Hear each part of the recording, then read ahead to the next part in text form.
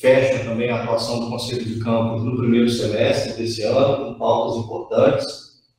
É, eu vou passar para a Secretaria do Conselho para um informe e a gente, na sequência, faz a aprovação da ordem do dia.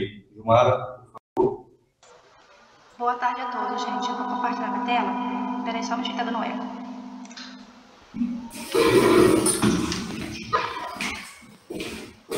Oi,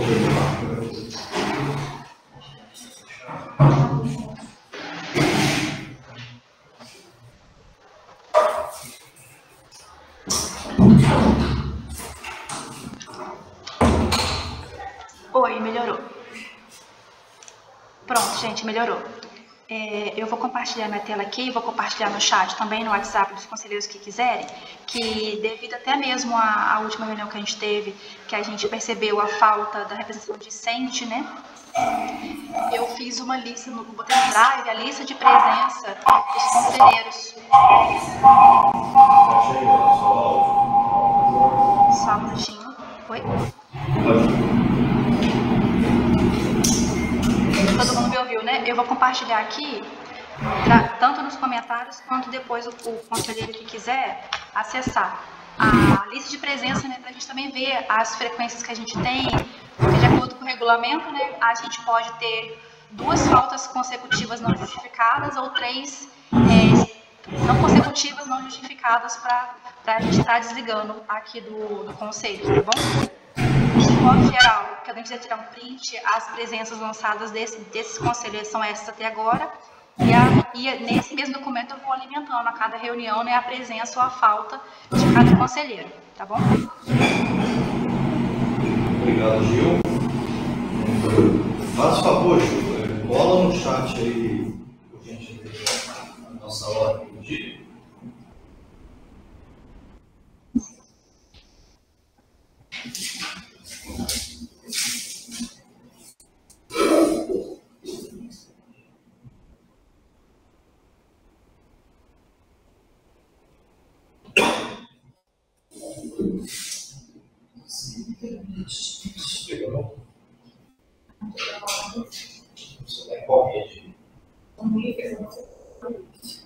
É uma uni, uni, unified, unified, processo. Leandro, você coloca assim no computador da você pula essa aqui que faz, bota o ponto do que melhor assim, a grande lá. Pessoal, a gente tem uma ordem do dia né, para poder ser aprovada, uma pauta extensa, mas tem a aprovação da ata da última reunião, os informes aí do Mário a gente tem informes a fazer, apenas aí essa questão do controle de frequência dos conselheiros, a gente tem a apreciação da solicitação de extinção do curso técnico em mecânica comunidade ao ensino médio. E do curso técnico em eletrotécnica integrado ao ensino médio ProEja, aprovação dos PPCs dos cursos FIC, EJA, instalador de sistemas eletrônicos de segurança e de eletricidade de baixa tensão. Tem uma pauta com o conselho externo, que está presente ainda, né, o Wellington, fazer uma estabelecimento de uma frente de mobilização de pais responsáveis dos alunos, uma discussão sobre a questão de infraestrutura da sala de aula, colocada pelo conselheiro Rafael Veloso, aprovação da minuta da regulamentação disciplinar de prestação de contas da execução orçamentária do ano de 2022 e aprovação do orçamento de 2023, minuta do plano diretor de infraestrutura e a recomposição da representação financeira do campo do que a gente vai tratar como primeiro ponto de pauta para que os meninos possam participar da reunião já como conselheiros efetivos. É, alguém tem algum pedido de inclusão de pauta, algum pedido de revisão? Tudo está colocado, ou a gente pode aprovar nos termos que estão colocados aí, tá em regime de votação, a ordem do dia, não havendo objeção. Felipe, Oi? A, a, eu gostaria de pedir Gilmar para colocar, o, ela colocou aquele link do que ela compartilhou aqui no lá em cima, né? De 12 e 20, ah. De quê? Da planilha. Eu vou ah, abrir que vou ver se é esse primeiro link que tá, a Jumara tá compartilhando. Está no chat, tá bom? Ok? Então, não tendo aí manifestações contrárias, a gente está aprovando a ordem do dia, conforme a Secretaria do Conselho informou. É, a gente vai para a aprovação da ata da última reunião. A ata foi encaminhada na ocasião da, da convocação. E aí eu vou pedir aos conselheiros que retirem a extensão dos pontos de pauta. Vou considerar aí que a ata foi devidamente lida, e aí havendo algum tipo de manifestação, caso alguém queira alguma revisão na ata, eu vou pedir para se manifestar. Hoje pode. Pois não, Adriano? Eu, não, eu só queria tirar uma dúvida aqui sobre a questão da lista. Boa tarde a todas e a todos. Em relação à lista de presença, por exemplo, o Márcio, né? Ele é suplente, né? Ele está como faltoso aqui, mas é, ele, ele a, as reuniões em que eu estou presente, normalmente o Márcio não está, né? É, não, aí não pode, não pode caracterizar falta, não, entendeu?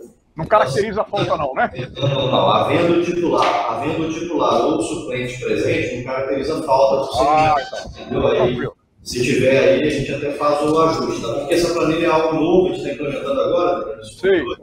Aham. A, gente, a gente arruma lá, mas obrigado pela observação. Não, pois é, é, isso, é porque é explicando isso mesmo. Explicando é. isso mesmo que você entendeu, tá? É assim, não, não configura falta.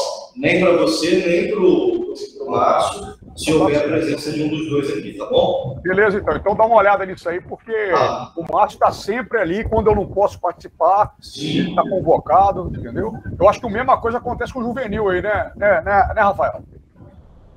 É uma coisa com o Juvenil.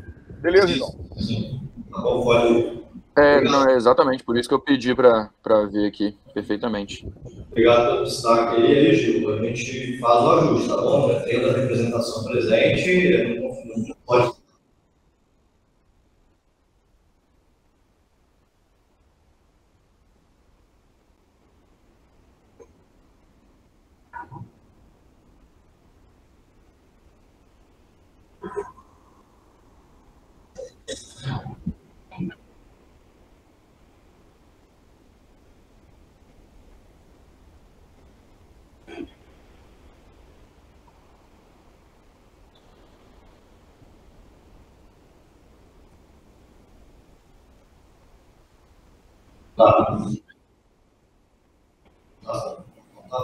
Nos termos regimental, regimentais aí não tem impacto na, na composição da representação.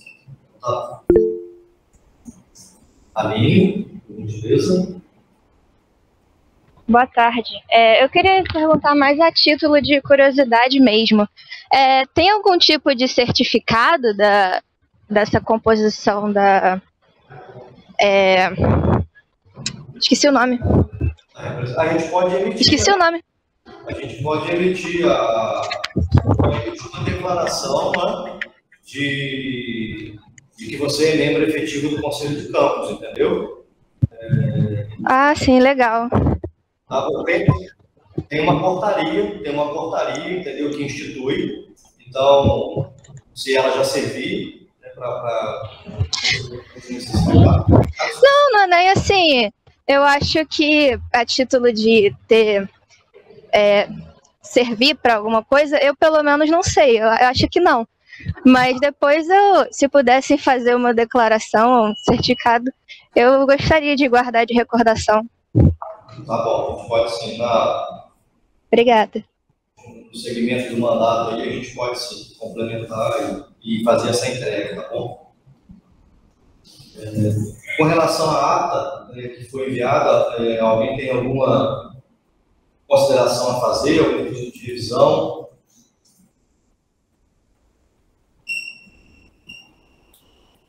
Então vou pedir para que a gente entre em regime de votação para aprovação da ata da última reunião. É, não havendo aí objeções, a gente dá a ata por, por aprovada. E sem manifestações contrárias, né, a da última reunião do Conselho de Campos está tá aprovada. A gente vai agora fazer a, a posse dos estudantes, e aí, obviamente, a palavra daqui a pouco vai estar franqueada, né, para que os conselheiros possam falar com os novos representantes da, do segmento discente. É, eu já vou iniciar aqui parabenizando o Tobias e o Miguel terem se colocado né, dentro, dessa, dentro dessa representação. É, a gente está né, dentro de uma reunião do Conselho de Campos, para vocês que estão participando pela primeira vez. Então, vocês estão vendo essa coisa mais formal aqui, né? porque tem, tudo, tem todo um regimento, tem toda uma, todo um protocolo específico, é uma reunião muito importante.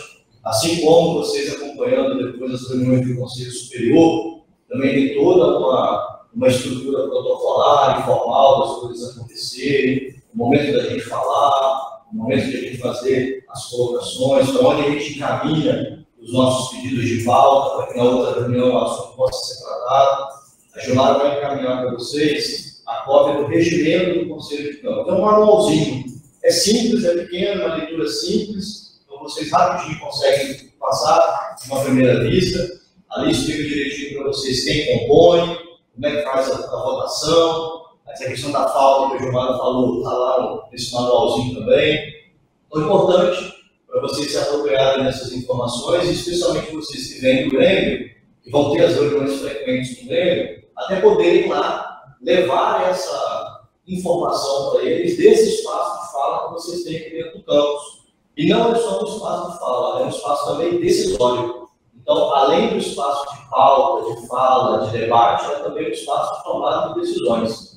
Então, muito daquilo que, de repente, vocês sentem no dia a dia de vocês, pode ser trago para dentro. Aqui dentro do Conselho de Campos, vocês vão ter diretores, vão ter representantes de vários segmentos também, para que as necessidades de vocês possam ser pautadas quando cabíveis dentro desse colegiado também para decisões importantes que afetam todos vocês. Tá bom? Então, eu, Felipe Ribeiro de Castro, diretor-geral do Instituto Federal de Educação, Ciência e Tecnologia Fluminense, campus de Itaperuna, nomeado pela Portaria 235, de 9 de abril de 2020, publicada no Diário Oficial da União, no dia 14 de abril de 2020, no uso das atribuições legais que foram conferidas pelas portarias 1364, 1712 e 1825 do Instituto Federal Fluminense, no ano de 2019, e dos termos regimentais desse Conselho de Campos, dou posse aos representantes do segmento Vicente, como titular, Tobias Vargas Lopes, como suplente, Miguel de Almeida Silva Manhães, para o exercício do mandato complementar até o próximo pleito regimental, a fim de que possam gozar das prerrogativas regimentais inerentes à representação para os quais, para qual foram nomeados. Adicionalmente, o mandato de vocês é um mandato complementar, porque existe um mandato em curso de dois anos e a representação discente ela foi declarada vaga pelo Conselho de Campo os estudantes formaram, foram embora, então houve vacância da cadeira de vocês, vocês ocupam essa cadeira pelo tempo restante agora, pelo que Gilmar um pouquinho antes, se não me engano, é até abril do ano que vem. Então tem praticamente um ano né, de mandato ainda pela frente. Quando houver a nova eleição para a composição do Conselho de Campo, vocês podem se colocar né, ou, e outros estudantes podem se colocar também né, para um momento de é, escolha da representação de vocês dentro do plano eleitoral do Conselho, tá bom? Sejam muito bem-vindos. É, a palavra também está franqueada, para quem de repente quiser né, colocar alguma fala breve, alguma questão para os conselheiros.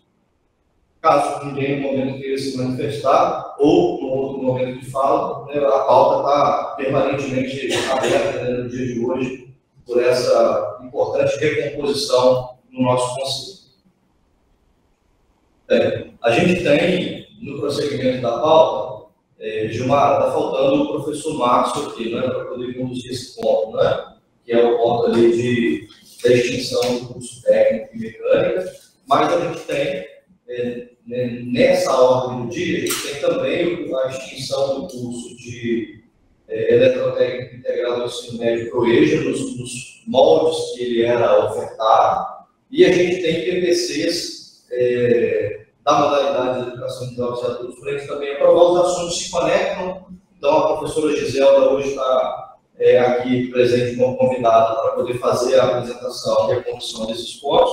E eu justifico a ausência do diretor de ensino, porque ele está hoje na reunião da Câmara de Ensino, que está por dois dias, né, ontem e hoje, discutindo a regulamentação é, disciplinar, regulamentação da atividade docente né, no, no Instituto e também a, perdão, a regulamentação pedagógica no Instituto, da RTP, no Instituto, uma reunião de dois dias, hoje é o segundo dia discussões na Câmara de Ensino, então ele está representando o campus lá, está usando o jurídico executivo.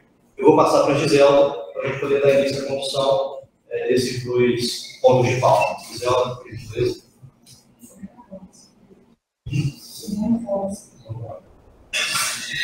Oi, gente.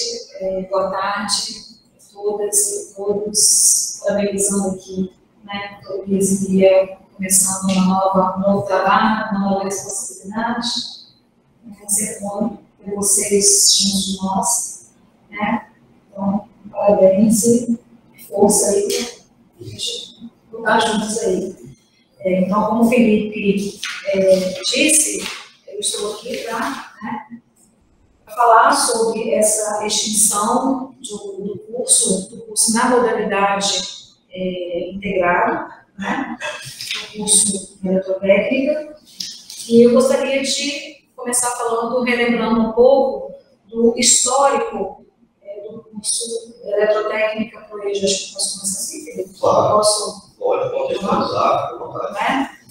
É, então, nós já tem conversas informais do nosso, do nosso curso, a gente já vem detectando uma, uma um, um, a gente queria ter um bom desempenho, mas esse bom desempenho do nosso curso não estava sendo verificado. Desde o início, nosso curso começou a ser ofertado semestralmente, depois com 35 vagas, é, depois passamos né, por uma reformulação, ele passou a ser ofertado anualmente.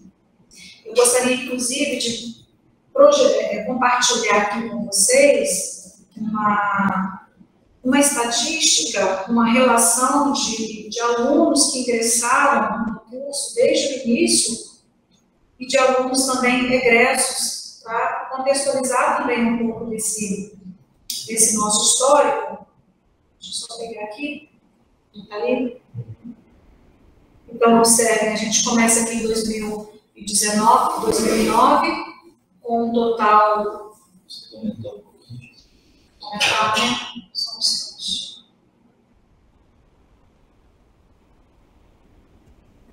Não, não? Já foi, foi. Já foi? Foi. Ótimo. Oi?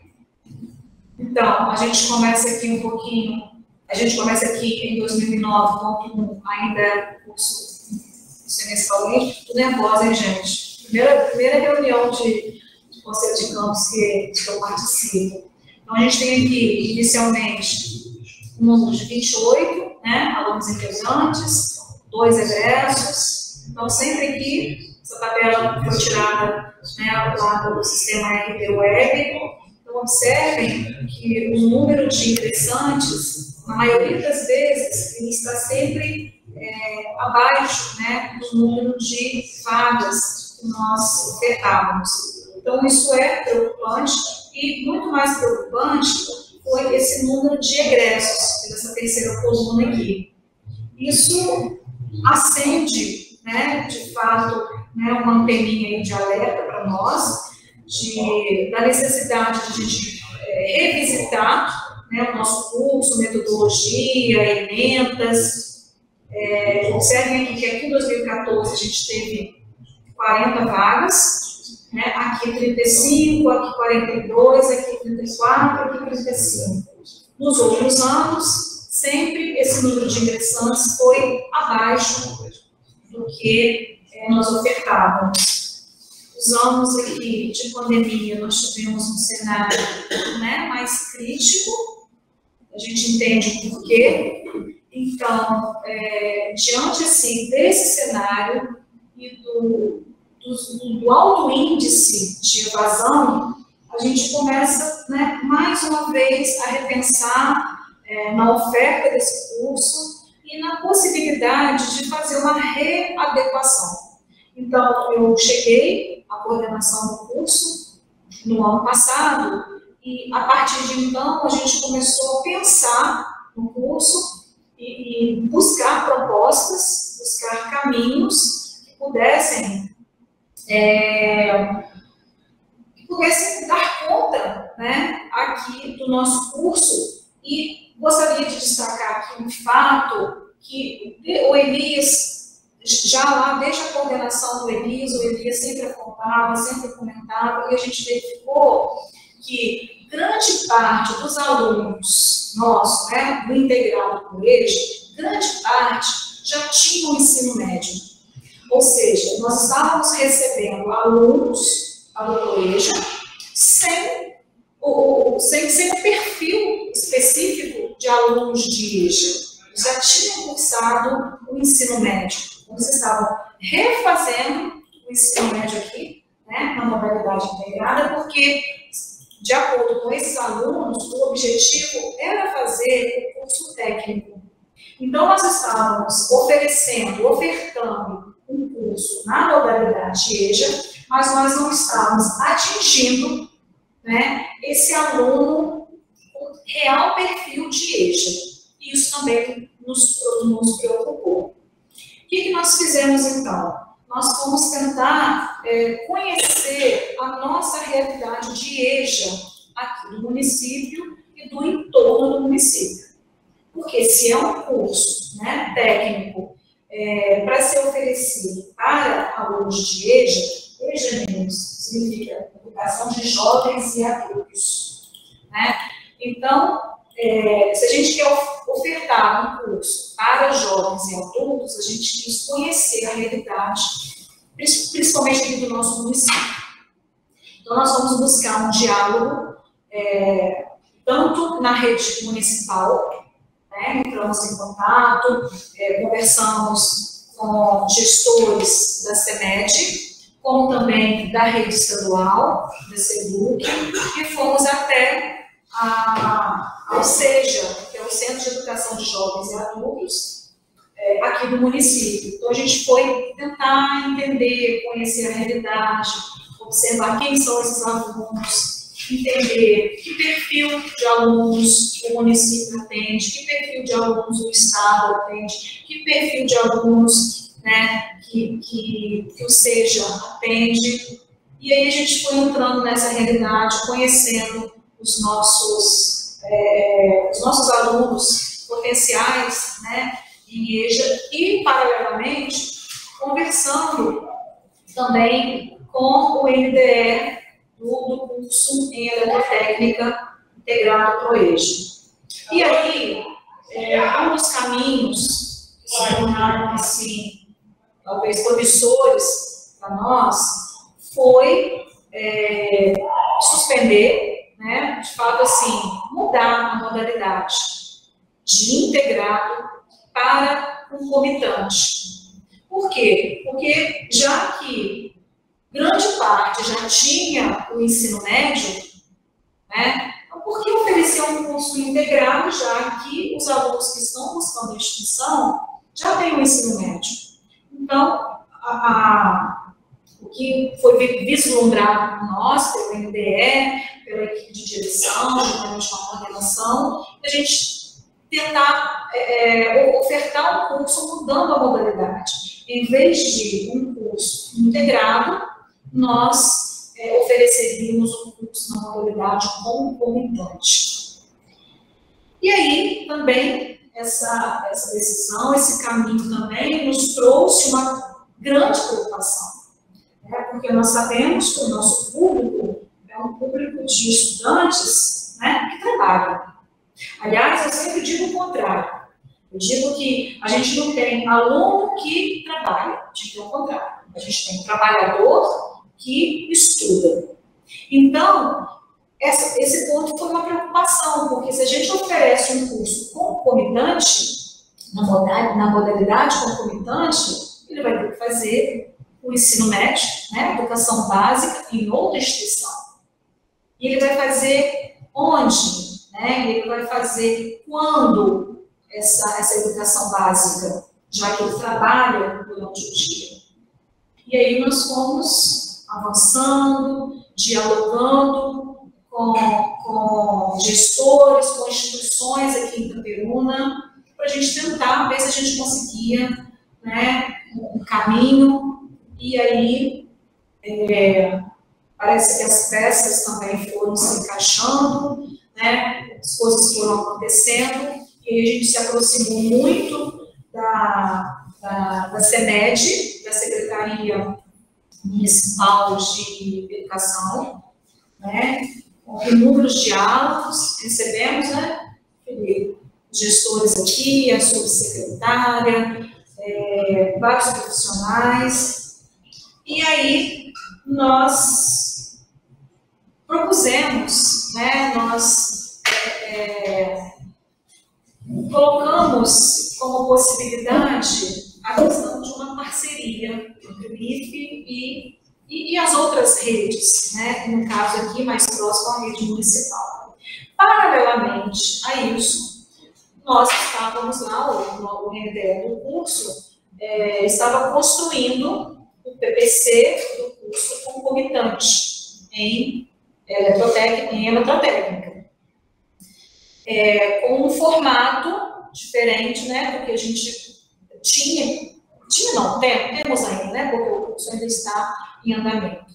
Então, a ideia desse curso técnico concomitante é de um curso que seria oferecido três vezes por semana, né, para atender o nosso aluno, para não ser um curso muito puxado, no sentido de carga horária é, semanal, né, que a gente, a gente entendeu, a gente discutiu que esse ponto também poderia ser um ponto que pudesse levar à evasão, né, uma carga horária muito robusta, semanal, aulas de 18 horas até as 20, e, e, 20, 22 e 20.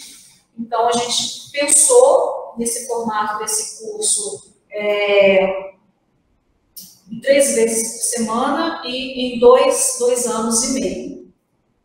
E aí, sempre fazendo sempre as duas coisas, né? Preparando esse curso, esse PPC desse curso, pensando no formato desse curso e, paralelamente, sempre as conversas, os diálogos com a CEMED acontecendo.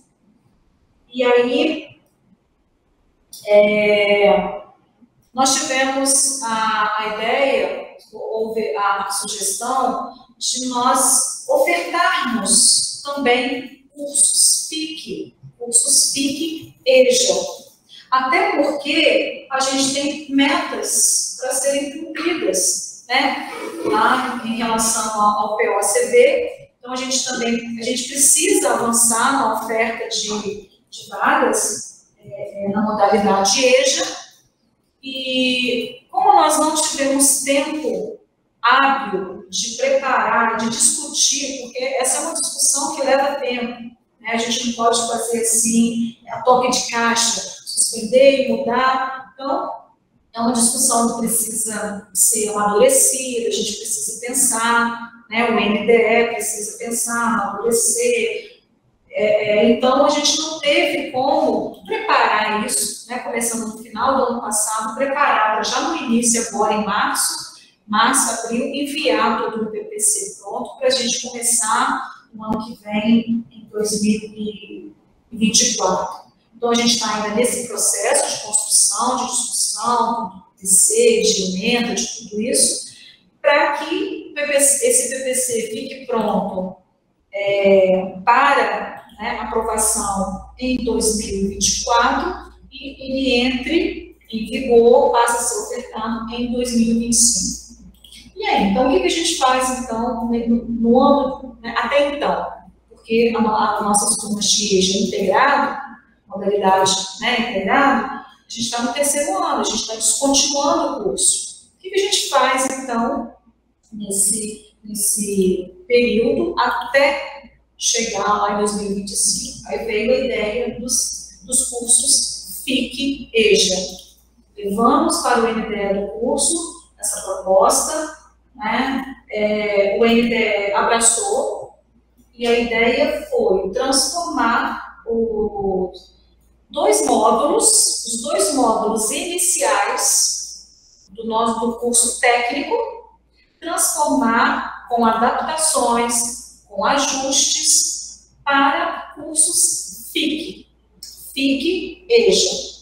E aí entra a parceria com a SEMED, com a, com a Secretaria de Educação Municipal.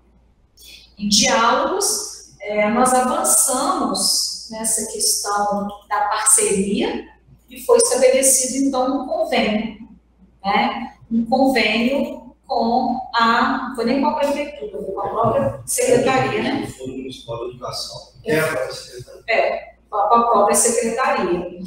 E aí, a secretaria, assim, abraçou a ideia, né? agradeceu, inclusive, é, achou que ia ser também muito produtivo, muito, muito bom também para os alunos da rede, e eles é, destinaram um dia, o CEMED destinou um dia da carga horária deles para nós. Então, como que vai funcionar esse curso FIC? É, aliás, antes de falar como vai funcionar, vou, vou falar do processo de construção. Então, a gente construiu né, um, um plano, a gente construiu aqui o PPC desses dois cursos FIC, a, a CEMED também fez, construiu um plano pedagógico, né, esse plano pedagógico ele vai se unificar, porque a modalidade dos cursos FIC vai ser é, o concomitante intercomplementar. Por quê? Porque aí a gente, tanto o IFE como a rede municipal, vai, é, é vai ter esse aluno. Esse aluno conta para as duas redes né, tem matrícula garantida nas duas redes. Então, é, é, estamos então já é, nessa etapa, e aí o primeiro curso FIC, que, vai, que nós pensamos, é o curso FIC Instalador Predial de Baixa Tensão, que é um curso que vai ser oferecido para alunos do sexto ano. Né? Então, a, os alunos matriculados no sexto ano, no próximo semestre, a ideia é que seja no próximo semestre, né, Felipe? É, Mas assim, vai, vai dar tempo essa questão do... O plano é que a gente tente fazer a implementação já no segundo semestre, semestre desse ano. Desse então, ano. É o que a gente está tentando já construir para agora. Para agora. Né? Então, é, esse curso FIC, aliás, esse não, os dois cursos FIC, cada um teria dois módulos, então, o primeiro módulo seria ofertado para alunos, o primeiro módulo do curso FIC 1, que é o instalador predial de baixa tensão, ele seria ofertado para alunos do sexto. Quando esses alunos do sexto forem para o sétimo, né, eles, eles terminariam o, o primeiro módulo. É, então, a gente já teria agora o curso FIC, né, primeiro módulo, 2024.1, a finalização desse, desse curso FIC. O aluno já está, estaria terminando o sétimo ano. Quando o aluno, esse, esse aluno fosse, a oferta seria gradual, né? O aluno do sexto ano, o sétimo, o oitavo e o nono. Então, o aluno do sétimo ano terminaria o primeiro curso FIC, quando ele fosse para o oitavo ano, já em 2024.1, é, ponto 2, perdão, esse aluno iria para o segundo, segundo curso FIC, né, que é o curso de instalador de sistemas eletrônicos de, de segurança. Né, também teríamos dois módulos, o aluno terminaria, então, o curso FIC, o segundo curso FIC de, de instaladores de sistemas eletrônicos ao terminar o nono ano. É, então, assim, essa, essa parceria foi muito proveitosa para ambas as redes, né, para nós aqui. A gente vai receber esse aluno de curso FIC, vai contar com matrícula para nós e também vai é, ser proveitoso lá para a rede municipal também. Né? A subsecretária aqui relatou inúmeras vezes quão, é, é, é, o quanto isso vai, vai, proporcionar, inclusive, ela acredita, inclusive, que a gente vai receber mais, que a rede municipal vai receber mais alunos, né, por conta dessa novidade, né, desse acréscimo no currículo deles. E aí, a, a nossa ideia é a gente trabalhar com esse aluno, a gente vai receber no ensino fundamental ainda, né, do sexto ao nono ano, lembrando que essa oferta é gradual, a gente vai receber aluno do sexto, então esse aluno do sexto vai para o sétimo, para o oitavo, para o nono, e a ideia é que esse aluno aqui, em 2025, fique conosco, que a gente o sensibilize, que ele fique conosco para ele continuar no técnico. Né? Então, assim, é, é, é, um caminho que esse aluno vai percorrer aqui conosco. A gente, assim, são alunos potenciais e alunos que, de fato, têm uma, o perfil de EJA. Né? Os alunos que procuram lá a, a rede municipal, a subsecretária disse que, majoritariamente, é uma turma de adultos, não de jovens. É, então, seria um aluno potencial para nós, para o nosso curso técnico concomitante, né, que pretendemos que comece em 2025. E aí poderiam perguntar, mas o curso é concomitante. E a educação básica, né? A gente vai sensibilizar esse aluno que fique aqui conosco e fazendo, inclusive, participando, inclusive, do processo de reaproveitamento né, de disciplinas, porque aquelas disciplinas, é, as disciplinas que puderem ser depois né, reaproveitadas, a gente vai procurar fazer esse, esse reaproveitamento lá no curso técnico e a gente vai fazer é, é a sugestão para ele, a indicação para que ele se matricule na rede Seja, daqui de Itaperuna porque o SEJA é, seja é um ensino né, de, de, de, educação de jovens e adultos semipresencial. É, é o mesmo formato dos cursos que são ofertados no CEDEG.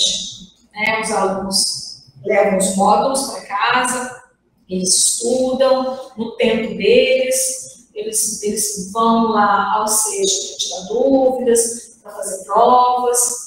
Então, é, é, é a modalidade que se encaixa né, para o nosso curso concomitante. Então, se ele trabalha durante o dia, ele vem lá no curso técnico, fazer aqui o curso técnico em três dias, é, vai ser incentivado, né, vai ser sugerido para eles, eles vão ser incentivados a buscar o seja para fazer né, a educação básica. Então, eu penso, né, particularmente, penso que, que é um formato que vai atender aqui a nossa rede, né, é, a rede municipal, ou seja, é um compromisso social que a gente tem com esses alunos, né, que por conta de inúmeros fatores, inúmeros motivos, dentre eles a, enorme desigualdade social que a gente vive, tiveram né, que no tempo do tempo da né, regular de escola tiveram que abandonar ou até foram expulsos né, dessa, dessa forma da escola. Então, na verdade, a gente está extinguindo o curso não para extinguir e acabar. A gente está oferecendo né, novas formas. O curso FIC, a gente também pensou nesse curso. Por que a gente também pensou no curso FIC? Primeiro, por conta desse tempo. O que, que a gente faria com, com esse tempo? Né? Até o, esse novo PC, até tudo ser aprovado, o que, que a gente faria nesse tempo? O que, que a gente poderia ofertar? Então, um dos motivos, um, uma, um dos motivos é esse, né, a gente ofertarmos o FIC, e também o FIC, a gente sabe que por ele ser mais curto, ele vai receber uma certificação que possa atender, de repente, a uma demanda de trabalho. Né? A gente sabe que depois da pandemia, né, quantos pais de famílias, quantas pessoas, quantos jovens estão aí é, tendo que se valer de trabalhos informais, né, de, de, de trabalhos precarizados, então, essa certificação mais rápida de um curso FIC também poderia atender nesse, nesse aspecto, né? E a gente iria caminhando com esse aluno, a gente iria caminhando e para que ele depois seja um potencial aluno nosso. Então, eu não sei se, se, eu, se vocês querem saber de alguma coisa, de uma. Sim. É, então, assim, o que Giselda, pessoal, explicou de forma bastante assim, pedagógica até aqui, para vocês, meninos, que agora, é, o que, que a gente está fazendo? Tinha um curso, uma modalidade de oferta, que era o curso do Proeja Produto. São três anos com o ensino médio junto. E aí a gente tem, como a professora Giselda apresentou, um histórico desses alunos com muita dificuldade de conseguir ficar é, nesse, nesse formato de curso. Eles trabalham o dia inteiro, tem aula de segunda a sexta, todo dia à noite, e a gente acabava pegando alunos que não eram alunos, de fato, alunos de EJA. Eu pegava aquele aluno que não conseguia passar no processo seletivo convencional, por prova, e vinha para o processo seletivo simplificado da EJA, que era o sorteio. E ali, isso historicamente no campus. Então, a proposta que a gente traz para o conselho, eu estou aqui é, sintetizando os meninos, né, para que eles possam, em função da primeira vez aqui, conseguir também passar essa informação para os colegas, é que a gente está construindo essa parceria com a Secretaria Municipal de Educação. Existe uma, existe uma tramitação, um acordo de cooperação técnica entre as instituições, e esses PPCs a gente precisa passar por aqui, né, que eles são aprovados dentro do Conselho de Campos, é, para que a gente possa, dentro do acordo, consolidar uma outra forma de oferta. Então, a gente continua ofertando né, a qualificação para o público da EJA, a gente não está acabando com a oferta de EJA no campus, não é isso que pode ser levado aqui, gente está acabando com o curso de EJA, não é isso. A gente está mudando uma modalidade, está dando uma forma de oferta. A modalidade de EJA continua e a forma de oferta da educação de jovens e adultos, ela, ela agora é concomitante com a EJA do município. O município oferta a EJA e agora a gente combina as coisas. A gente pega aquele aluno de EJA do município, que saía só com o fundamental lá do município, e a gente agrega valor ao currículo dele com a qualificação profissional. Então agora ele sai formado lá na EJA fundamental do município e com a qualificação profissional. Ele sai como técnico? Ainda não, ele é um aluno de nível fundamental. Mas ele vai sair, na nossa proposta, numa primeira fase. Ele sai com uma formação em eletricista de baixa tensão, que é o eletricista residencial, para construção civil, para reparos né, residenciais, para atuar na indústria também. E numa segunda fase da EJA, ainda dentro do, ciclo fundamental, se ele permanece, ele vai também sair com uma outra qualificação profissional instalador de sistemas eletrônicos de segurança. E aí a gente enriquece o currículo desse estudante para ele poder instalar lá, com câmera de segurança, cerca elétrica, um pouquinho de automação residencial. Então a ideia é que a gente consiga atender de fato esse público da EJA, que com a qualificação profissional o município consiga atrair mais trabalhadores que estão fora da escola e que não completaram os estudos, e que a gente estimule esse público depois a ingressar no ensino médio, ainda que seja na modalidade semipresencial, e venha fazer o curso técnico concomitante com a gente e eletrotécnica à noite. Então a ideia é tentar fazer, como a Giselda falou, construir uma trilha formativa, construir um itinerário formativo para o trabalhador do município e depois estimular que ele também continue essa caminhada de formação, também com a possibilidade de fazer um curso técnico com a gente noturno em eletrotécnica. Então a gente encaminhou para os conselheiros, né, de forma antecipada, é, os projetos pedagógicos, então eles já leram né, como é que esse curso está organizado, e Gisela explicou que esse estudante ele vai vir um dia da semana para poder ter aulas aqui. Por isso não dá para fazer um técnico um dia de aula, mas uma qualificação profissional de algumas horas ao longo do ano, a gente consegue oferecer para ele. Então, enquanto ele estiver fazendo as fases 6 e 7 da EJA no município, ele está recebendo um ciclo de formação conosco, não é? Isso. E nas fases 8 e 9 da EJA, ele tem a possibilidade de receber um segundo ciclo de qualificação profissional conosco. E aí, ao final, do sexto ao nono ano, se ele permanecer trilhou nesse novo currículo, ele sai com duas qualificações profissionais, tanto como eletricista quanto instalador de sistemas eletrônicos de segurança. Com grande probabilidade de voltar para o técnico, é. né? É, é, é, aproveitar, reaproveitar o que ele já, já cursou. Escolhe que ele faria concomitante. Exato, concomitante técnico, exato. Ele vai fazer a parte propedêutica, então o português, a é. matemática, a geografia, isso o município continua ofertando, e ele vem aqui para um dia à noite fazer a disciplina técnica. Então ele vai fazer aquilo que é técnico do eletricista. Se ele continua, no outro ano ele faz aquilo que é técnico do instalador de sistemas eletrônicos de segurança. Então toda a parte propedêutica, o município continua ofertando, e a gente faz a qualificação profissional dele aqui, entendeu? E depois esse técnico, o Gisela lembrou bem, esse técnico depois concomitante, já no ensino médio, ele também tem dias reduzidos, porque ele já faz o aproveitamento do currículo dele. Então também não seria um técnico que ele tem que vir de segunda a sexta, de 6 às 20, às 22 horas no campo também. O que para esse trabalhador é significativo, é importante, porque ele tem também, normalmente, dupla, tripla jornada de trabalho, né? com o trabalho no dia a dia, as outras da casa. Então, essa é a proposta, esse é um novo modelo de oferta da EJA que a gente está trazendo para apreciação do Conselho de Campos, na perspectiva de, a depender da tramitação desses documentos, no jurídico do Instituto e no jurídico da Prefeitura, que agora, no segundo semestre desse ano, a gente já consiga dar início a essa ação. Então, no ensino médio, ele faria o ensino médio aqui junto com o curso da integração. Aí a gente vai estimular que ele se matricule na EJA que o Estado oferece para o semipresencial. Então hoje a gente já tem no município a EJA que o Estado oferece por apostilamento, semelhante ao SEDET. Ele tem a tutoria, ele tem a, o momento né, de estar na seja, seja para tirar dúvida com professores, ter o atendimento, fazer as avaliações. Então, aí nas disciplinas do médio, tudo isso ele vai fazer nessa modalidade semipresencial do Estado, né, e ele vem fazer só o técnico concomitante que a gente também. Como a gente já tem concomitante eletrotécnico. O concomitante ele sempre faz o ensino médio, né, educação básica, em outra instituição. Exato. Mas como ele é um trabalhador, a gente vai incentivá-lo a se matricular nessa rede, rede seja.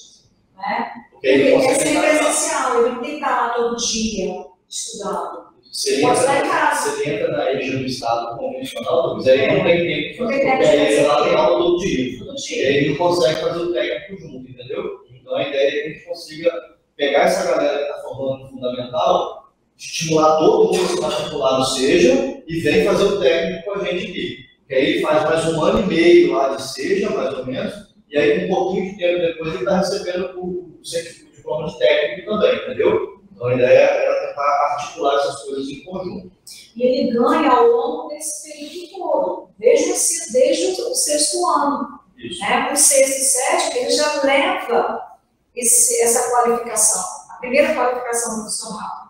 Depois, no oitavo e no nono, a segunda qualificação profissional. Aí depois ele vai ser muito incentivado a continuar, né? a, a, a cursar o, o o técnico mesmo, o treinador técnico.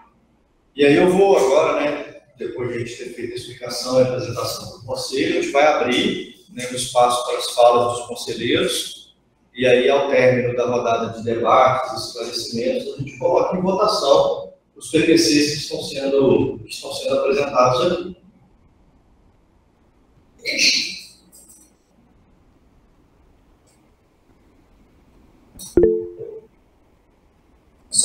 Adriano.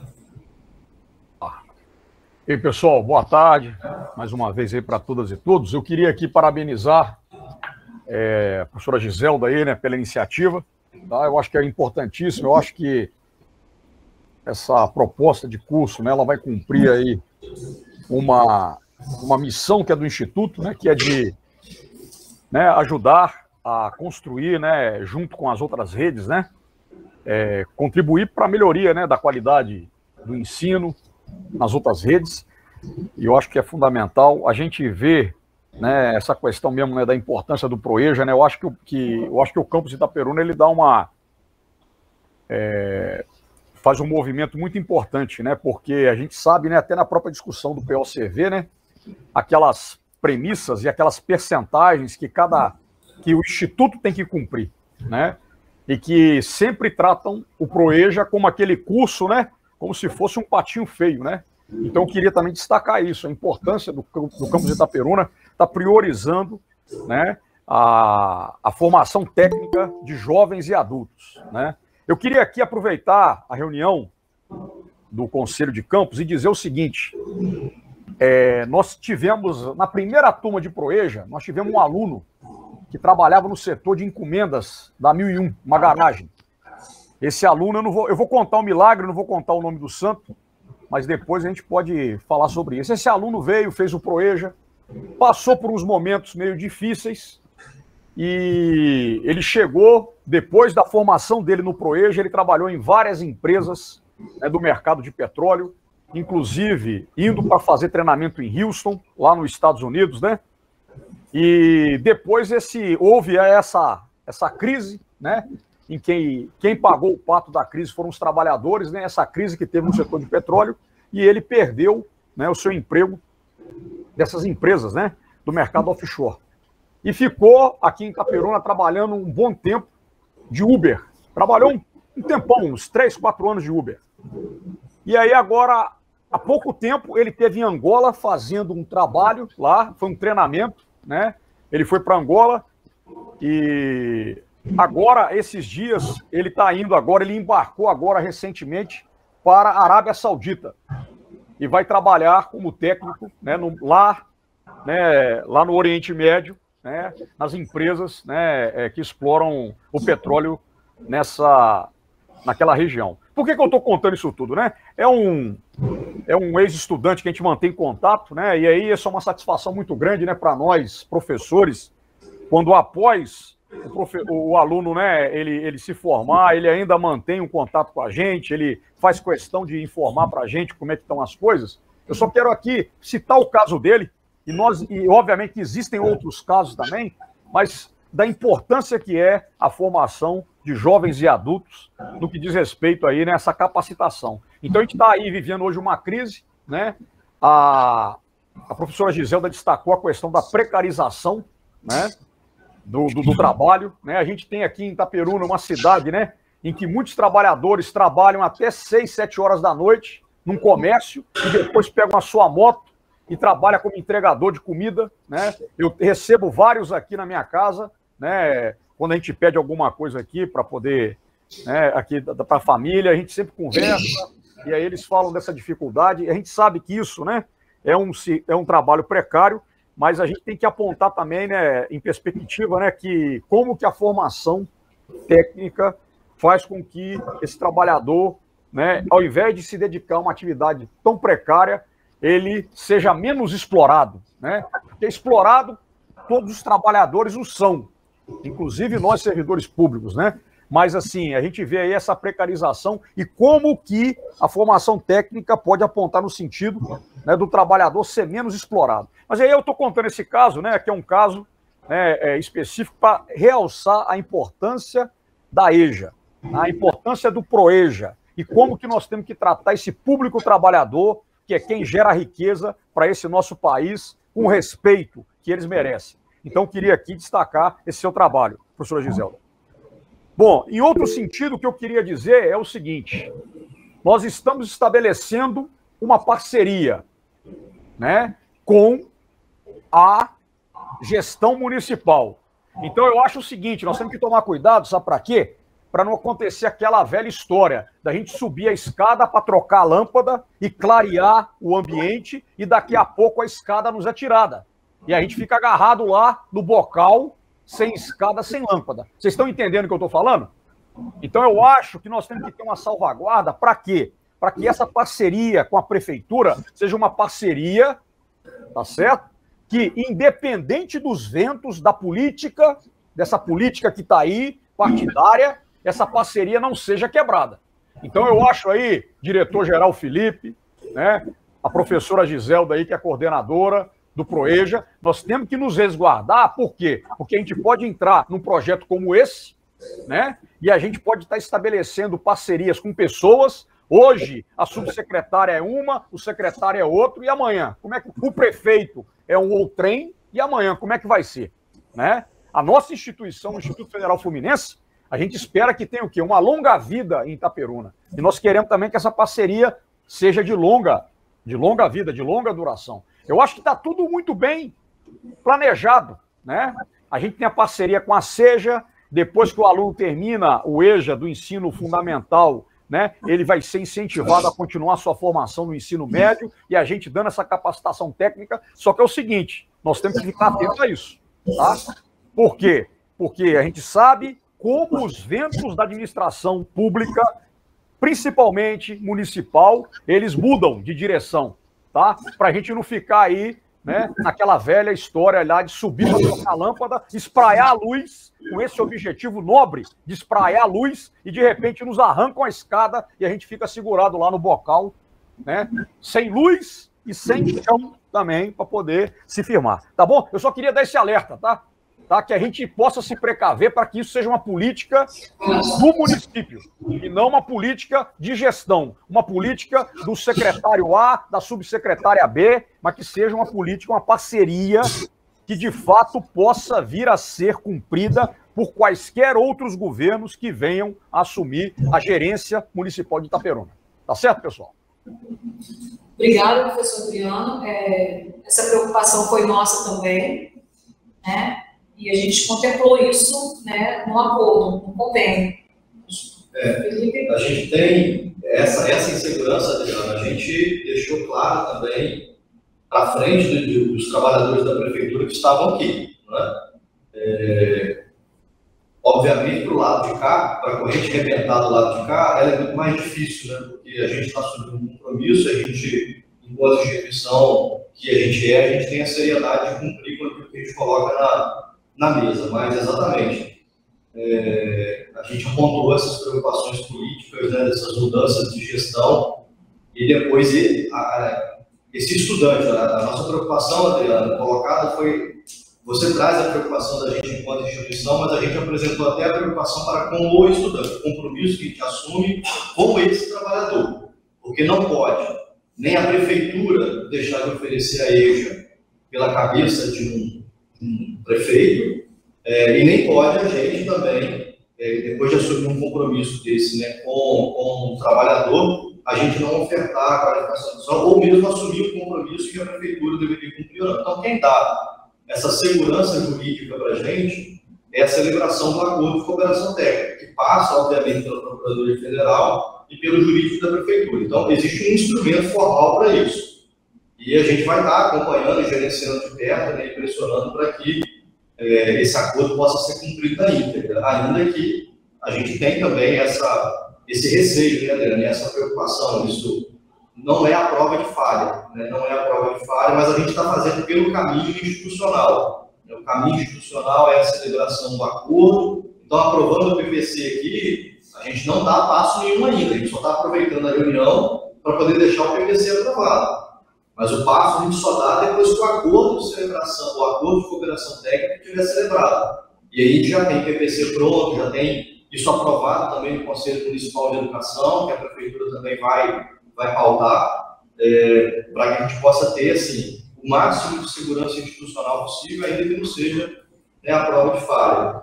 Uma questão que chamou atenção, né, é, ontem, por exemplo, a gente estava em reunião com o Ministério Público do, do Estado, né, e aí a gente estava falando da questão do passe de, dos estudantes, da segunda passagem para os estudantes.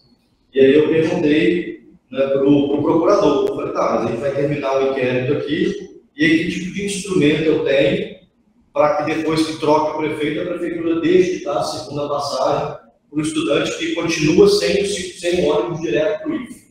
Então, a segunda passagem foi concedida para o estudante que mora num bairro que não tem linha direta do Santa Lúcia para o Instituto. Né? Eu tinha que pegar um ônibus no bairro, parar na rodoviária e custear do próprio bolso a segunda passagem. Isso acabou, isso acabou, a gente hoje já tem os nossos alunos, até em função da decisão celebrada ontem no, no Ministério Público, e o que o procurador falou que existe no direito uma coisa chamada princípio de proibição do retrocesso.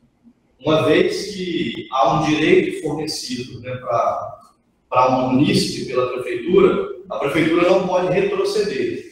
Então, o que eu acredito, né, até em função desse entendimento tirado ontem, é que uma vez celebrado o acordo, aqueles trabalhadores e trabalhadoras que estão em curso naquele, naquele acordo, né, eles também são amparados né, juridicamente para que aquele acordo seja executado. Ainda que a prefeitura, no momento, diga que novos não entrarão, mas que aqueles que entraram, eles têm o direito assegurado de receber né, a sua qualificação profissional e a formação de eixo fundamental também. Mas, Adriano, é, as preocupações que você trouxe são comuns, né, são nossas também, mas para informar que a gente está buscando todo o amparo que está à disposição, a gente não está fazendo nada fugindo daquilo que a instituição preconiza. A gente não vai fazer é, um movimento assim, ah, eu, por exemplo. E, aliás, isso é uma coisa que a gente poderia fazer. A gente poderia fazer a aprovação do PPC aqui lá sem papel nenhum assinado e começar a oferecer. Só que a gente não tem esse laço jurídico por trás. Se a gente faz isso, a gente assume uma responsabilidade a gente não tem é, é, amparo jurídico algum. Então a gente está fazendo o quê?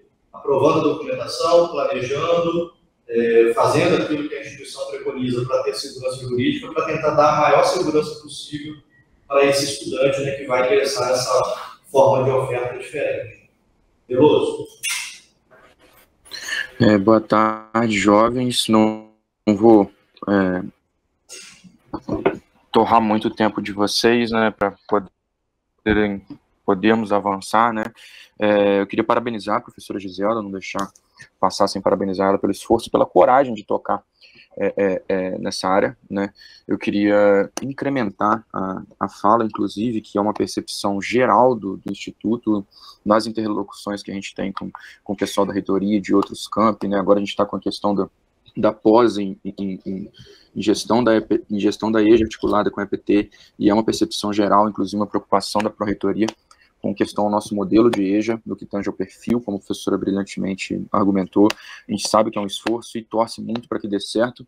E também, óbvio, eu entendo as preocupações do, do, colega Adriano, colocadas aqui pelo Felipe, mas eu acredito que a gente não pode deixar de chegar, independente de quem esteja lá. Né? A gente tem que oferecer, a gente tem que buscar é, é, trabalhar e caminhar e nunca, nunca parar. Tá? Parabéns e contem conosco aí nessa, nessa empreitada. Já aproveito a fala, inclusive, para dar boas-vindas aí aos colegas do, do, do, Grêmio. Miguel aí, um abraço e sigamos. Obrigado, Veloso. É, então, eu vou colocar, né, não tem ninguém inscrito, né, ninguém deu a palavra novamente, mas fiquem à vontade quando estiver conduzindo aqui, mas eu vou colocar, então, no regime de votação, a aprovação dos PPCs dos dois cursos de IQEJA, instalador de sistemas eletrônicos de segurança e de eletricista instalador predial de baixa tensão, e aí eu vou pedir que seja feito o registro né, dos colegas que estão é, na sala virtual, dos estudantes aqui presentes, né, que são conselheiros que aprovam também esse formato de, de oferta. Então, o pessoal está se manifestando no chat de vocês, o voto é de acordo direitos, os estudantes presentes de acordo, os conselheiros se manifestando.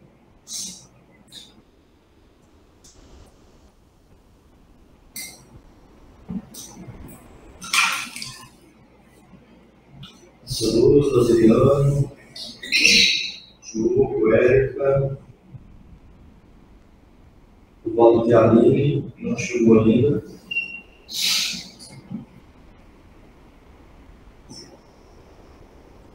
Não sei se a Aline está com dificuldade de conexão.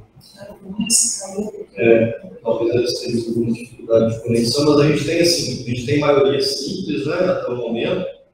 É, não tem um voto em desacordo. Se a Aline depois quiser registrar o voto, obviamente ela, ela pode fazer no momento que ela, que ela desejar, mas a gente tem aí aprovado então, as propostas dos PPCs, assim como, acredito eu, né, é, a aprovação da extinção da forma de oferta do curso técnico em eletrotécnico integrado no ensino médio na modalidade, de, na modalidade ProEja. Então, Gisela, eu vou até agradecer a sua presença, os outros pontos de pauta é, são pontos independentes, mas fique à vontade para acompanhar a reunião. Obrigado, e a gente vai dando de forma depois para os conselheiros, né, que o acordo começar a se acelerar. Tá bom? Obrigado. Gente, obrigada também. Né? Quero agradecer. Desculpa o nervosismo. Ainda gosta de campos, a gente não esquece, né? Mas um abraço a todos e todas. Qualquer coisa, estou pelos corredores aí. Um abraço. Obrigado, Gisela. É, como o professor Márcio, né, coordenador do técnico mecânica, ele não chegou, eu vou, nesse ponto de pauta, conduzo aqui, de repente, tem alguma consideração, eu. Pode pôr qualquer uma, qualquer uma delas passar. Eu vou, eu vou conduzir esse ponto para a gente poder né, esgotar, tentar esgotar esse ponto de pauta, que de forma semelhante, pelo menos em uma parte, né, obviamente, é, salvaguardando aqui as formas de oferta que estão colocadas, é, a gente também está num movimento é, de extinção de, um, de uma outra forma de oferta. Forma não, aqui é a modalidade mesmo de oferta, concomitante desse errado é, do curso técnico concomitante em mecânica. Mas também aqui é uma extinção, mas é uma extinção sem que haja redução do número de vagas ofertadas pelo campus. A gente está mudando, a nossa está com uma proposição de mudança né, na forma de oferta do curso técnico concomitante ao ensino médio é, de mecânica à noite para a modalidade é, do curso técnico mecânica integrado ao ensino médio no ano que vem. Então, a ideia é que a gente, no ano que vem, ao invés de ofertarmos duas turmas de eletrotécnica integrada, a gente vai ofertar uma turma de eletrotécnica integrada e uma turma de mecânica integrada, com a possibilidade de diversificar o currículo de oferta. Então, com isso, a gente consegue. Hoje, a gente tem quatro cursos integrados. A gente fazendo o fechamento de uma turma e abrindo uma outra, a gente está indo para o nosso quinto curso integrado, que é o curso que na rede é, tem os maiores percentuais de permanência também. O estudante do ensino médio ele permanece mais que o estudante, pelas dificuldades que vocês já ouviram também, que são um pouco semelhantes, e também na perspectiva de a gente é, formar base para a verticalização com o recente curso de bacharelado em engenharia mecânica que foi implantado no campus. Então, a gente, né, com esse movimento, a gente vai apresentar aqui né, uma justificativa também dessa, dessa extinção e da abertura do outro no outro formato. O professor Márcio ele encaminhou uma minuta né, para o Conselho de Campos, com algumas considerações textuais. Esse curso ele oferta é, 30 vagas semestrais. Então, o curso técnico em mecânica à noite ele ainda é um curso semestral, é, mas né, ele vem também passando pelas mesmas dificuldades que muitos dos nossos cursos noturnos, tendo historicamente uma uma redução do número de candidato vaga, isso vem né, não alcançando números né, é, acima ali de dois candidatos por vaga já há algum tempo. Então, a gente está sempre na casa de um candidato ou até menos de um candidato por vaga. E quando a gente tem né, números assim, a gente tem também que enfrentar ainda aquilo que ocorre da evasão, assistência dos estudantes, turmas muito pequenas também, e a gente tem também cursos noturnos que concorrem entre si pelas similaridades da, do currículo. A gente tem a eletrotécnica, a gente tem a mecânica e a gente tem a automação industrial. São três cursos noturnos que guardam entre si uma certa similaridade, de, de, de, pelo menos de atuação profissional, vou dizer de currículo, mas é, é o trabalhador que vai atuar basicamente na indústria, talvez ele é eletrotécnica com uma outra pegada, mas também muito forte na parte da, da, da, da eletrônica e da elétrica industrial, também nesse perfil. E a gente pensa também que com esse movimento talvez consiga direcionar também mais público para os cursos concomitantes subsequentes noturnos, seja de eletrotécnica, seja de automação industrial. E a gente possibilita né, uma forma de oferta diferente né, para poder formar uma base, é, para poder contribuir com o fortalecimento do curso do bacharelado em engenharia mecânica também. Então, Aqui o professor Matos fez uma síntese da relação candidato-vaga, faz uma justificação, que é essa contextualização que eu estou colocando. O mais adequado seria que ele estivesse por aqui, né, para poder fazer a condução e fazer a apresentação textual também, mas é, é, é um assunto que foi discutido né, durante os momentos de construção do nosso POCV também, está assegurado a esses estudantes que estão atualmente matriculados também o término do curso deles. Então, nenhum aluno que está matriculado hoje no curso técnico comunidade noturno tem prejuízo por isso. Então, nenhum colega de vocês, porque a forma de oferta noturna está sendo extinta, ele vai ser prejudicado. Enquanto houver uma matrícula, as disciplinas para aquele estudante à noite continuam sendo ofertadas. Então, para todo mundo que já está matriculado, está assegurado o direito de término do curso noturno, até que todo mundo esteja formado, e aí a gente extingue a oferta e segue permanentemente com a oferta é, dele na forma integral, tá bom? Então, é, eu acho que para os conselheiros que estão presentes, né, a minuta né, traga pelo professor Márcio é, foi essa, e a gente queria aproveitar né, essa reunião para que pudéssemos fazer a apresentação desse plano de extinção e também avisar que o PPC do curso técnico integrado, que foi aprovado já pelo Conselho, já passou pela KPPC, já foi aprovado, que é uma comissão que o Instituto estabelece para aprovar os planos de curso, e ele já foi aprovado também no SEMPEI. E agora ele segue para aprovação na Câmara de Ensino, e aí, né, finalmente, no Conselho Superior, ele passa pela aprovação em definitivo. Então, em todas as tramitações também que ele está sendo submetido e vem sendo é, aprovado. E aí a palavra está franqueada né, para fala dos conselheiros, se desejarem colocar alguma questão, mas é, também aqui, obviamente, né, caso haja necessidade de algum ajuste ou explicação adicional, é, não estando presente o professor Márcio, a gente faz o registro, conduz para que talvez no segundo momento possa ser trago novamente. Mas aí, professor Rafael. Não, parabenizar mais uma vez o trabalho. É, eu acredito que a gente já apreciou isso de certa forma quando a gente conversou sobre o POCV, né, Felipe? Então isso já não é surpresa para ninguém, então a gente já está familiarizado com essas questões. É mais explicar mesmo, igual você fez para os novos representantes, né?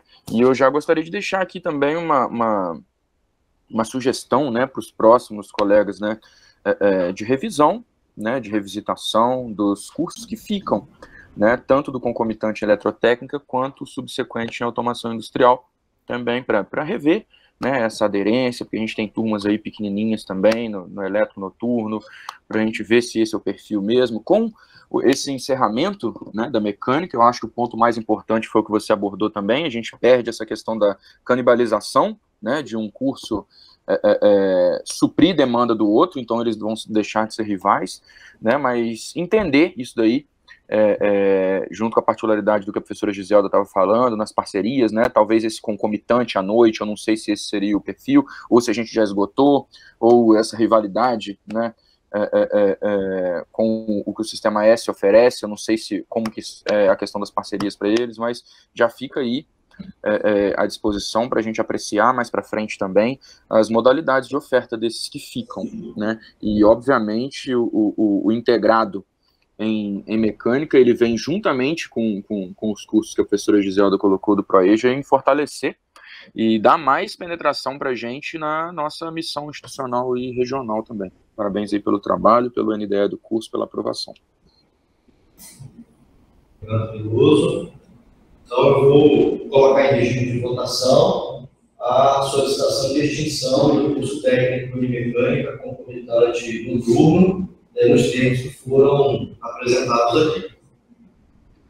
Meninos, ok? Com vocês? Ok? Os conselheiros estão ali fazendo o registro.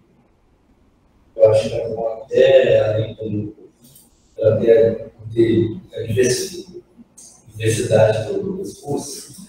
É, o controle da segunda, que agora que estamos no ano, a gente teve que juntar esse ano essa quantidade de alunos. É, aí, por esse mesmo motivo, houveram muitas reclamações, muitos desse tipo de coisa, em questão do, dar aula, né? E elas devem ser separadas novamente, né? Então, essa questão do, dos, da separação do técnico, mecânico e eletrotécnica, como vai ter uma bomba para cada um, nós, nós vamos ficar até mais organizados em questão das Pedagogicamente, a oferta dos cursos, das aulas, não é? é olhar que tinha pensado em é, Dando seguimento, então, a pauta hoje está grande, né, gente? Mas vamos lá. É, o Wellington, o conselheiro Wellington está né, tá presente, chegou, e aí a gente tem um ponto de pauta. Os, os dois próximos pontos de pauta foram pontos de pauta da reunião anterior, que né, a gente pediu para ser conduzido para essa, e a gente alocou aí no meio da pauta, né? No virtude da a gente conseguir liberar a Gisela também, tão tarde na reunião. Então, a gente tem aí uma um pedido, né, o professor, o conselheiro Edson, que é o representante de é, pais de aluno aqui no conselho, ele solicitou, inclusive na reunião, na última reunião de pais, ele se colocou lá, né, se apresentou para os pais, se colocou enquanto conselheiro, enquanto representante do segmento aqui no conselho, é, e, e, gostaria de estabelecer uma, uma frente né, de mobilização, uma frente organizada dos pais para o pleito de questões que são sensíveis aos, aos filhos e filhas dele e, consequentemente, nossos estudantes. Então, o Ed, eu vou te passar a palavra. O Ed pediu que a gente pudesse, né, na nossa conversa, a gente né, tratou de passar pelo Conselho de Campos como, como mais uma como mais uma etapa né, dessa, desse ciclo de organização para essa frente, para que o colegiado aqui pudesse estar ciente, também pudesse dar o apoio que o Edson vai precisar para a construção dessa frente né, de mobilização é, dos pais. O Edson, por gentileza, a palavra está com você para destacar os pontos né, aos quais você entende que essa frente pode iniciar a atuação e como que a gente poderia dar o suporte, o apoio necessário para que ela de fato se torne uma realidade. O Edson, por gentileza. Muito obrigado, professor. É... Me escuta bem, né? Sim. Sim. Então, é, acabei entrando agora há pouco né, na, na, reunião, por, porque aqui é uma loucura, né? A gente vai fazendo as coisas e aí acaba é, atrasando também a participação das reuniões. É, então, uma boa tarde para todos. É, na última reunião de pais, a gente, eu me apresentei como representante dos pais e foi muito interessante porque parece que todos estão mais ou menos no mesmo pensamento. E o que a gente entende como pais é que realmente é, precisamos de, de ter uma mobilização para a gente poder encontrar as soluções para aquilo que nos aflige muito gravemente.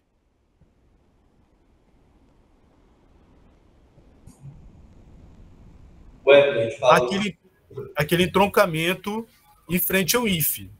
É, é, claro que tem outras pautas, como também o professor teve conhecimento, como é, né, é, algumas, algumas demandas dos, dos pais sobre professores, né, isso o professor Felipe já está buscando uma solução, mas e, é, a ideia que eu trago aqui hoje é exatamente da gente poder é, marcar uma reunião online extraordinária com os pais dos alunos. E aí eu gostaria de pedir o apoio da direção para fazer essa convocatória é, e também a melhor data possível para que a gente possa é, discutir quais são os nossos encaminhamentos. Se será uma, a gente vai em, organizadamente buscar alguma solução é, em outras em outros órgãos, em outras entidades que também podem nos ajudar, ou mesmo uma mobilização para uma manifestação é, orden, ordenada né, e, e pacífica, para que a gente possa mostrar o nosso encontentamento com essa situação. É, e outras situações que a gente pode discutir lá na reunião. Então, é, o que eu venho aqui é exatamente pedir esse apoio à direção e para que a gente possa fazer essa reunião. É, o Hélio Veloso, por favor. E Boa tarde de novo, Wellington. Espero que esteja bem aí também. Aprecio sua é, é, é, disposição, a sua convocação. É, eu não sou pai de aluno, mas eu espero que meus filhos estudem aí um dia, diferente do professor Adriano, que também, além de professor, já é né, pai de, de, aluno e vive também todas essas aflições. Né?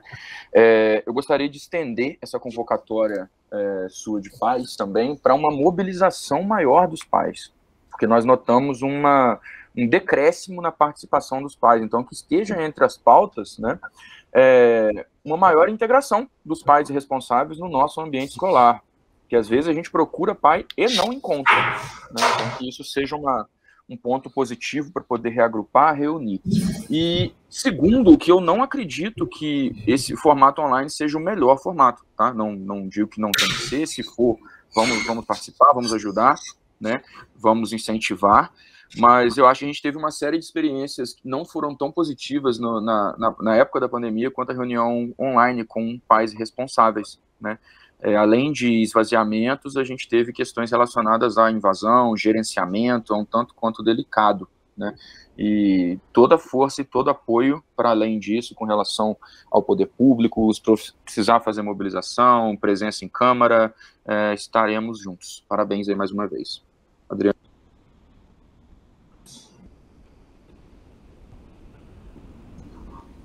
Adriano? Sou eu agora? Opa, beleza. É, eu queria, Rafael já, já adiantou, né? É, minha filha estuda né, no, no, Instituto e eu queria aqui saudar né, essa iniciativa do, do Wellington e dizer o seguinte, né? Há, há algum tempo né, que a gente, poxa, né, tem essa expectativa né, dessa maior intervenção aí organizada por parte dos pais, né, dos nossos estudantes. E aí é muito bom a gente ouvir, né, essa preocupação. E eu tenho certeza, né, que, o Wellington, né, é, é, representa os pais, né, que se preocupam mesmo com os filhos, embora muitas vezes, né, a gente tenha assistido, né, a nível geral, as famílias, não, não todas, né, felizmente, não todas, mas muitas vezes terceirizando, né, a, a formação, né, e a educação dos filhos para a escola, né? Ou seja, né, a gente tem que arcar né, com, não só com a parte da instrução, mas também com outras questões. Né? Isso é uma conjuntura que a gente vive, né, disso, né, dessa crise generalizada da nossa sociedade. Mas eu queria aqui saudar. E eu acho, Wellington, que a gente tem que criar uma, né, essa organização, essa mobilização que ela possa desembocar numa associação, né, de pais, uma associação de pais e mestres, para a gente ter esse, esse, esse, esse tipo de organização de vocês. Você levanta uma demanda, né, e você falou que existem outras demandas. Essa demanda em relação à aglomeração de estudantes que a gente tem ali na, na, né, na, na pista, né, ela é premente, sem dúvida alguma. É coisa, cara, que chega a dar calafrio, meu irmão. Eu chego ali no IFE, né, e aí eu chego de moto normalmente, eu muitas vezes vou virar a moto, cara, lá em cima, né, ali perto das oficinas que tem ali, perto daquela, daquela é, casa noturna que tem, para eu poder ter visibilidade. E tem uma coisa, cara, que para mim é, é, é, é, minha angustia, que é, é, é, essa coisa de estar tá na beira da estrada, cara, que é, é pavoroso isso, né? E os meninos ali, e, assim, né, e os, os meninos, quando eu falo os meninos as meninas, pedindo carona, é, com a plaquinha. E aí, além de ter o risco, né, ali na estrada, tem um risco também dessas caronas, cara. Porque é, é, a gente fica preocupado, eles vão pegar carona com quem? Né?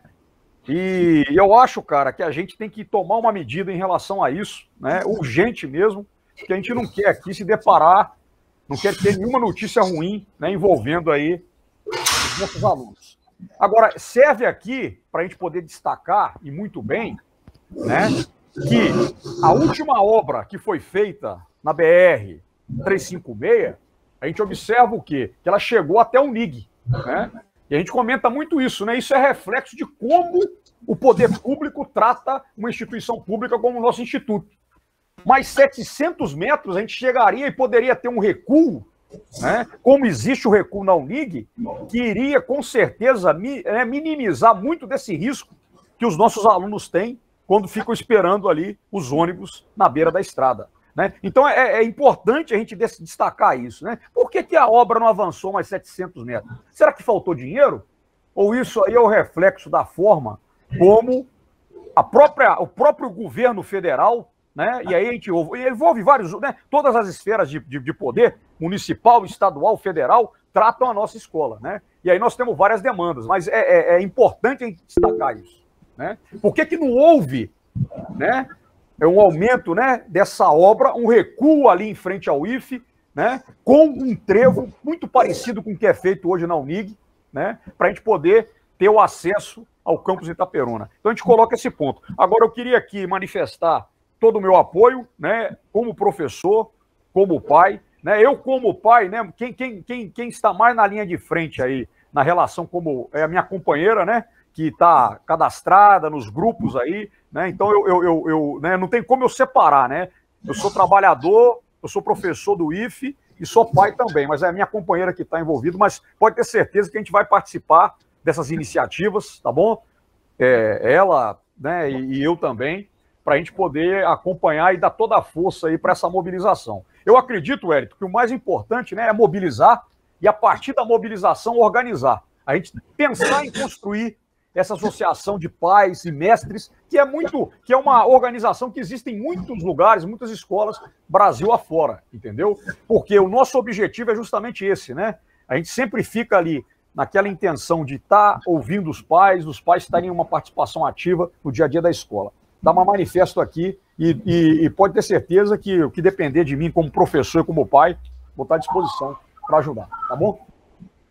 Peço perdão pela tréplica aqui antes de devolver para o Wellington. É que eu falei, eu puxei exatamente isso daí na, na reunião de pais, o, Adriano. Eu sei que o Wellington ele foi no, no dia anterior, né? O Felipe estava no, no dia da ADM da Eletro.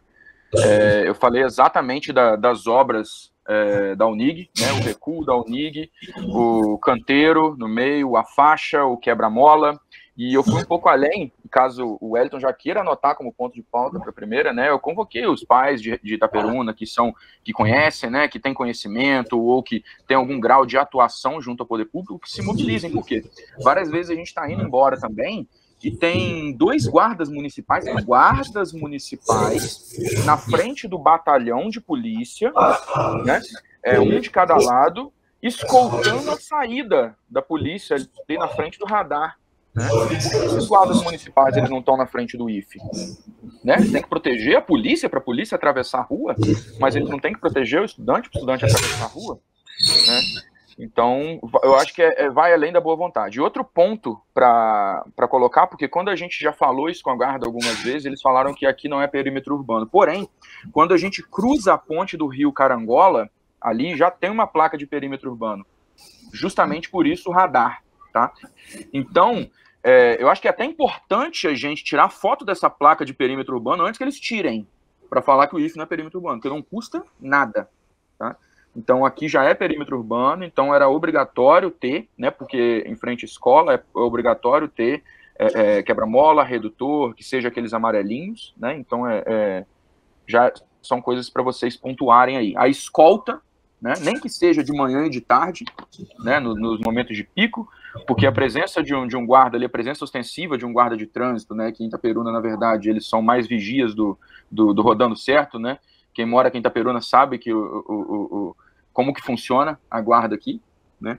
E essa presença ostensiva ia minimizar os efeitos dos nossos estudantes, essa presença ostensiva da guarda nesses momentos de, de pico ia minimizar eventuais desvios de conduta de motoristas de ônibus, né? Porque o motorista ia pensar duas ou três vezes antes de arrancar com o ônibus com um aluno ali, né? Ou antes de não parar, né? Então são pontos para destacar e parabéns também mais uma vez.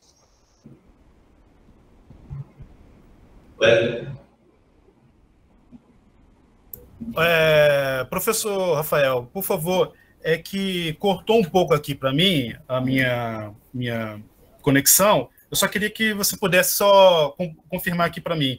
Você disse que eram dois guardas municipais que estavam onde? Na, na frente do batalhão de polícia. Quando a gente está indo embora para o centro da cidade, a gente passa em frente ao batalhão, certo? Tem um redutor não é raro ter guarda municipal ali escoltando a saída do batalhão, de moto ali, com a moto da guarda, não com a moto da polícia. Tá? Do, da PM, né? Não, moto da guarda. Eu, quando não, moto da, se for moto da PM, tudo bem, mas eu já vi moto da guarda. Olha lá, a Erika colocou ali, quase todos os dias eles ficam. A guarda escoltando a saída da PM. E a, gente a guarda municipal escoltando a PM? Exatamente, exatamente. Nossa, a guarda municipal ali, a guarda municipal ali, na, na, antes daquele redutor, na frente do cemitério, eu acho que eles estão organizando a chegada de ônibus, porque dá muito trânsito no fim da tarde ali, né? E fica direto, fica direto. Pode passar ali 10 para 6, 6 horas, até 6 e meia, quando dá trânsito, fica ali.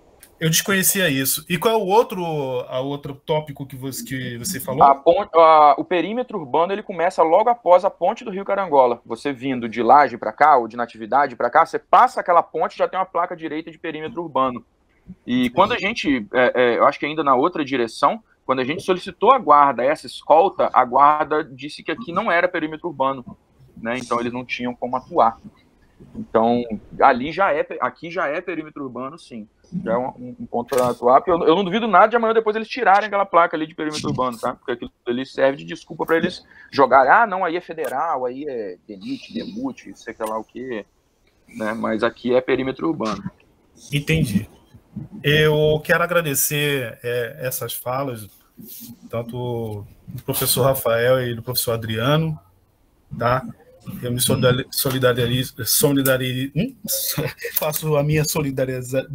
Ih, rapaz, desculpa, eu estou um pouco tenso. É, então, dou a minha solidariedade, tanto ao professor Adriano, né, que também tem aluno aí, quanto ao professor Rafael, quanto a essas questões todas. É, e aí eu exatamente, eu acho que a gente precisa marcar um ponto inicial, vamos dizer assim, marcar território.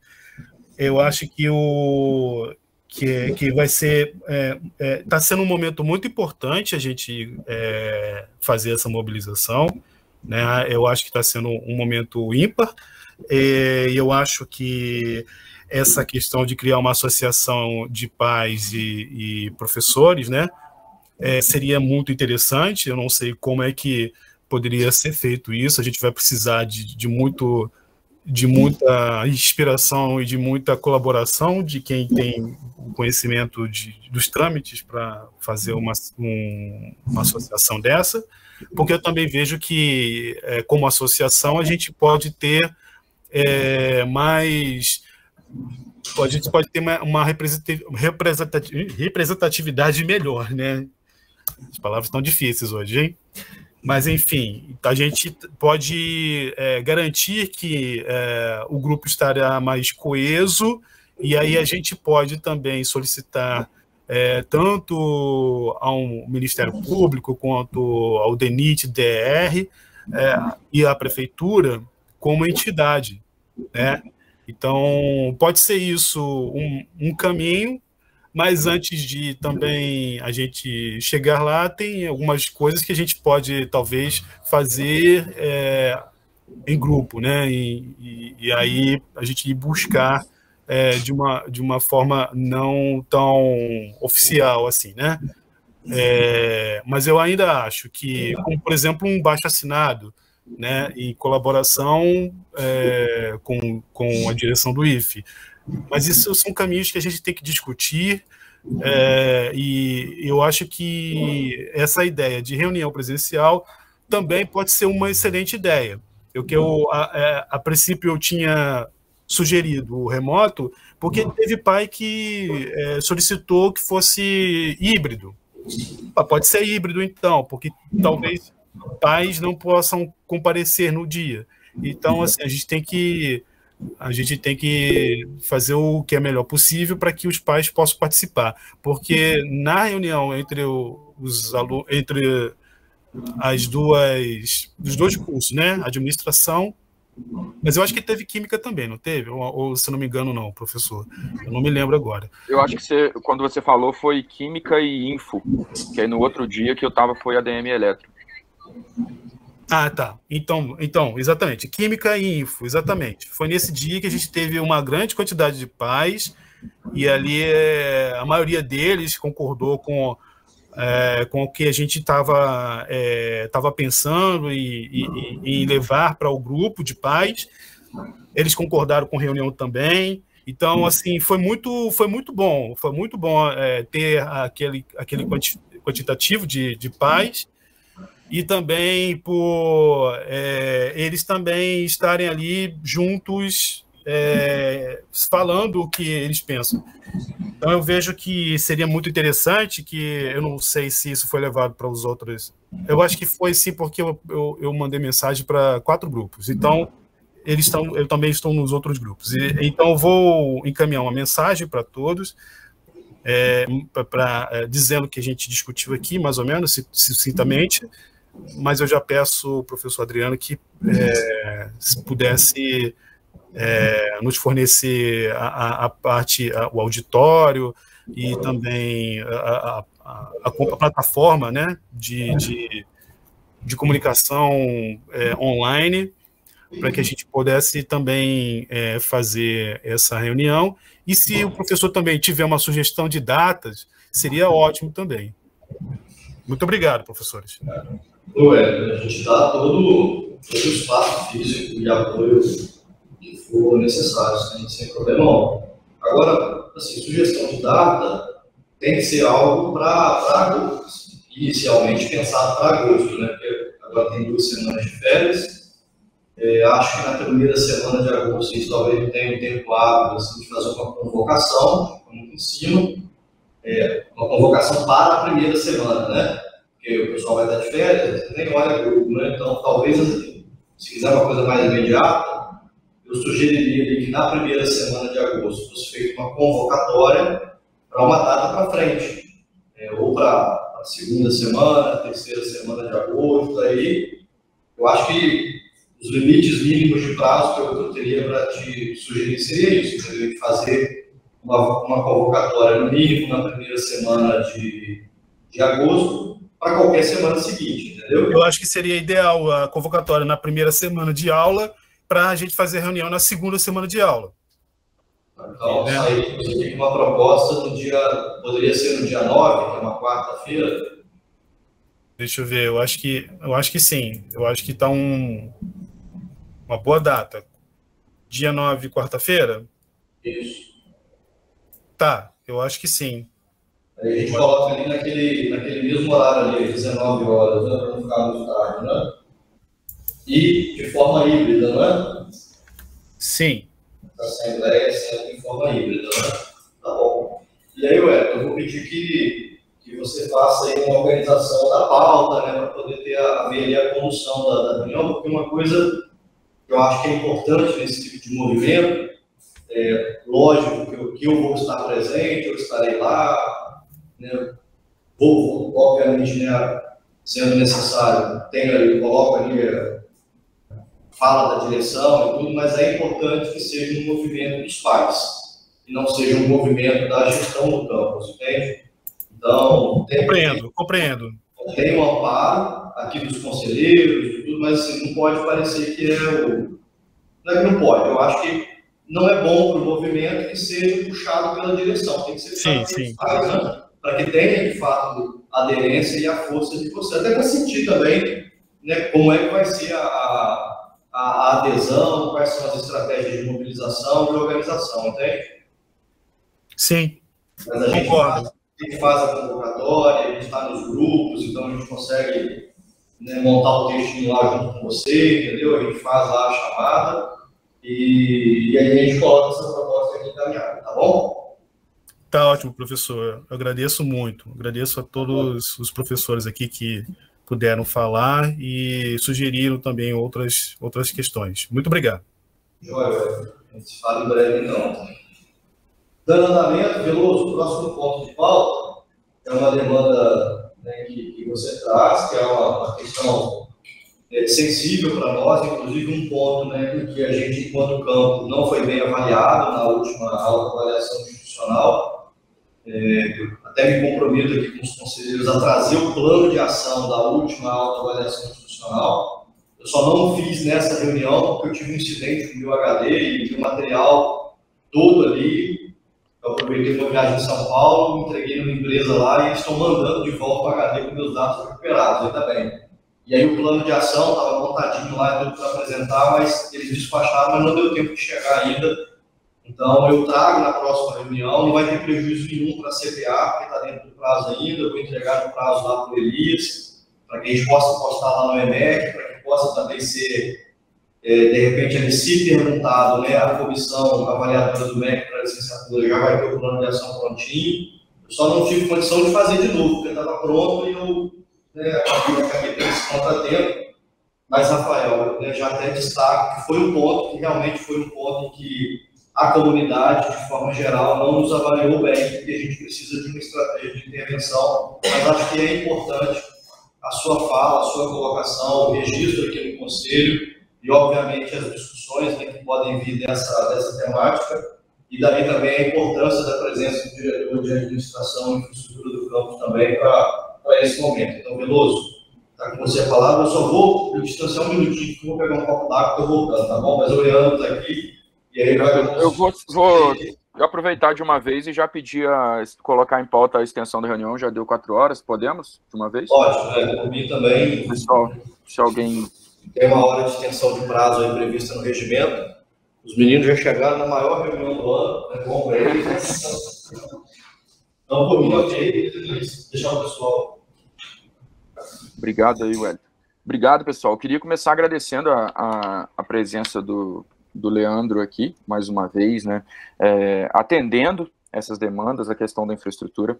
Queria começar colocando, né, essa, essa inquietação nossa vem desde a nossa colocação minha do juvenil como chapa da representação docente, que era a, a construção e disponibilização de melhores espaços para docentes em tempo integral, e já queria saudar aqui, parabenizar pela construção de, de, de vários espaços no, na sala dos professores do, do Parque Acadêmico, né? Então, a gente já é, é, conta com cinco espaços individualizados, é, é, é bem, bem colocados, não estão apertados, internet de alta qualidade cabeada, impressora instalada lá para gente no Parque Acadêmico. É, queria colocar o agradecimento aqui ao Leandro, né? O pessoal já está indo para lá, já está indo fazer reuniões. Então, a busca do Felipe também por questões de, de Wi-Fi. Encontrei com o Felipe e com o Leandro lá no Parque Acadêmico também, né? Eles já estão é, correndo atrás da questão de melhorar a nossa rede sem fio. A gente sabe da, que a nossa rede sem fio é muito sobrecarregada. Né? É, essa semana também já tive um, um, pronto atendimento com questões da internet cabeada lá no laboratório de administração, que é o nosso último laboratório lá, então queria já deixar um agradecimento aqui a toda a equipe também, o Helder eu acho que está por aí também, é, é, senão o Diogo vai estar tá aí também como representante, né? É, fomos prontamente atendidos pelo Leandro, pelo Douglas, pelo Helder essa semana, né? É, queria colocar a importância quanto à infraestrutura, né? É, vou falar rapidinho também da sala dos professores do, do bloco B, né, na sala dos professores do bloco B, é, a gente precisa fazer um planejamento igual fez lá no PAI também, com espaços de trabalho individualizados, com internet de alta velocidade. A gente já tem dois computadores lá nos quais a gente pode acessar o RD Web, né, os sistemas acadêmicos, né, a intranet, vamos dizer assim. É, depois o Diogo me corrija se eu estiver usando o termo errado. Né, é, mas seria importante que a gente pudesse dar uma, uma revisão naquele espaço lá. A gente conta com isso também para poder tirar aqueles, aqueles armários que estão lá e construir também essa, essa questão dos, dos espaços de trabalho individualizados nas salas dos professores do bloco B, né? É, essa semana também foi colocada é, espaços para consulta que vão servir tanto para os alunos quanto para os docentes na biblioteca, né? Então, muito importante também esses espaços de trabalho sendo construídos na biblioteca. E eu pedi também que fossem estendidos cabos, é, é porque às vezes o Wi-Fi ele também não pega cabos é, para as salas, para as nossas salas da, da biblioteca, né, aquelas salas de, de, de, de, estudo que tem fechadas ali na biblioteca, né, que fossem estendidos cabos de internet ali, às vezes tem professores, tem colegas que, que vão lá para a biblioteca para poder planejar aula, para poder fazer né, suas atividades de planejamento.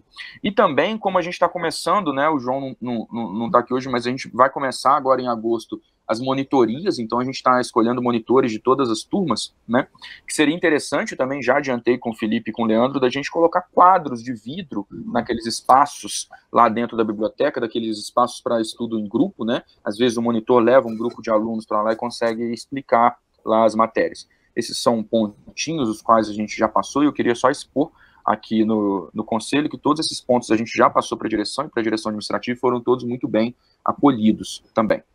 É, mas o, o, ponto que eu queria abordar, inclusive, da, agradecer mais uma vez a presença do Leandro, é que a gente tivesse um planejamento de ações prévio, tipo uma, um roteiro, um, um, um, um planejamento preventivo de ações de, infraestrutura, de infraestrutura no campus para que a gente não precise ficar, né? O, Miguel está aqui e a gente passou ano passado com algumas turmas de administração uma situação quase de, de, de nômades, né? Porque agora, quando a gente está no, no, inverno ou na, menos quente, né, a gente consegue é, é, se virar melhor. Mas quando a gente chega em setembro, outubro, novembro, dezembro, a gente começa a ter uma sobrecarga dos aparelhos, principalmente de ar condicionado, é, sobrecarga dos bebedouros também, né? E a gente gostaria de contar e já avisar e já ajudar também nesse mapeamento prévio, e aqui eu coloco também é, não só o núcleo técnico de administração, mas também eventuais é, é, é, ajudas que possam ser necessárias no sentido de, fazer, de ajudar nesse mapeamento, no planejamento é, dessa infraestrutura, para depois a gente estabelecer né, um planejamento prévio dessas ações para não cair, tipo assim, ah, o ar de qual sala está quebrado? A sala tal, tal, tal, tal, tal né? Aí faz uma fila e vai atendendo um por um, né? Mas, tipo assim, será que a gente não pode fazer um planejamento prévio já? Opa, o ar da, da, da sala tal, ó, já tá na hora, já tá fazendo um barulho ali, né? Mas, infelizmente, a gente só vai chamar quando o ar parar de gelar,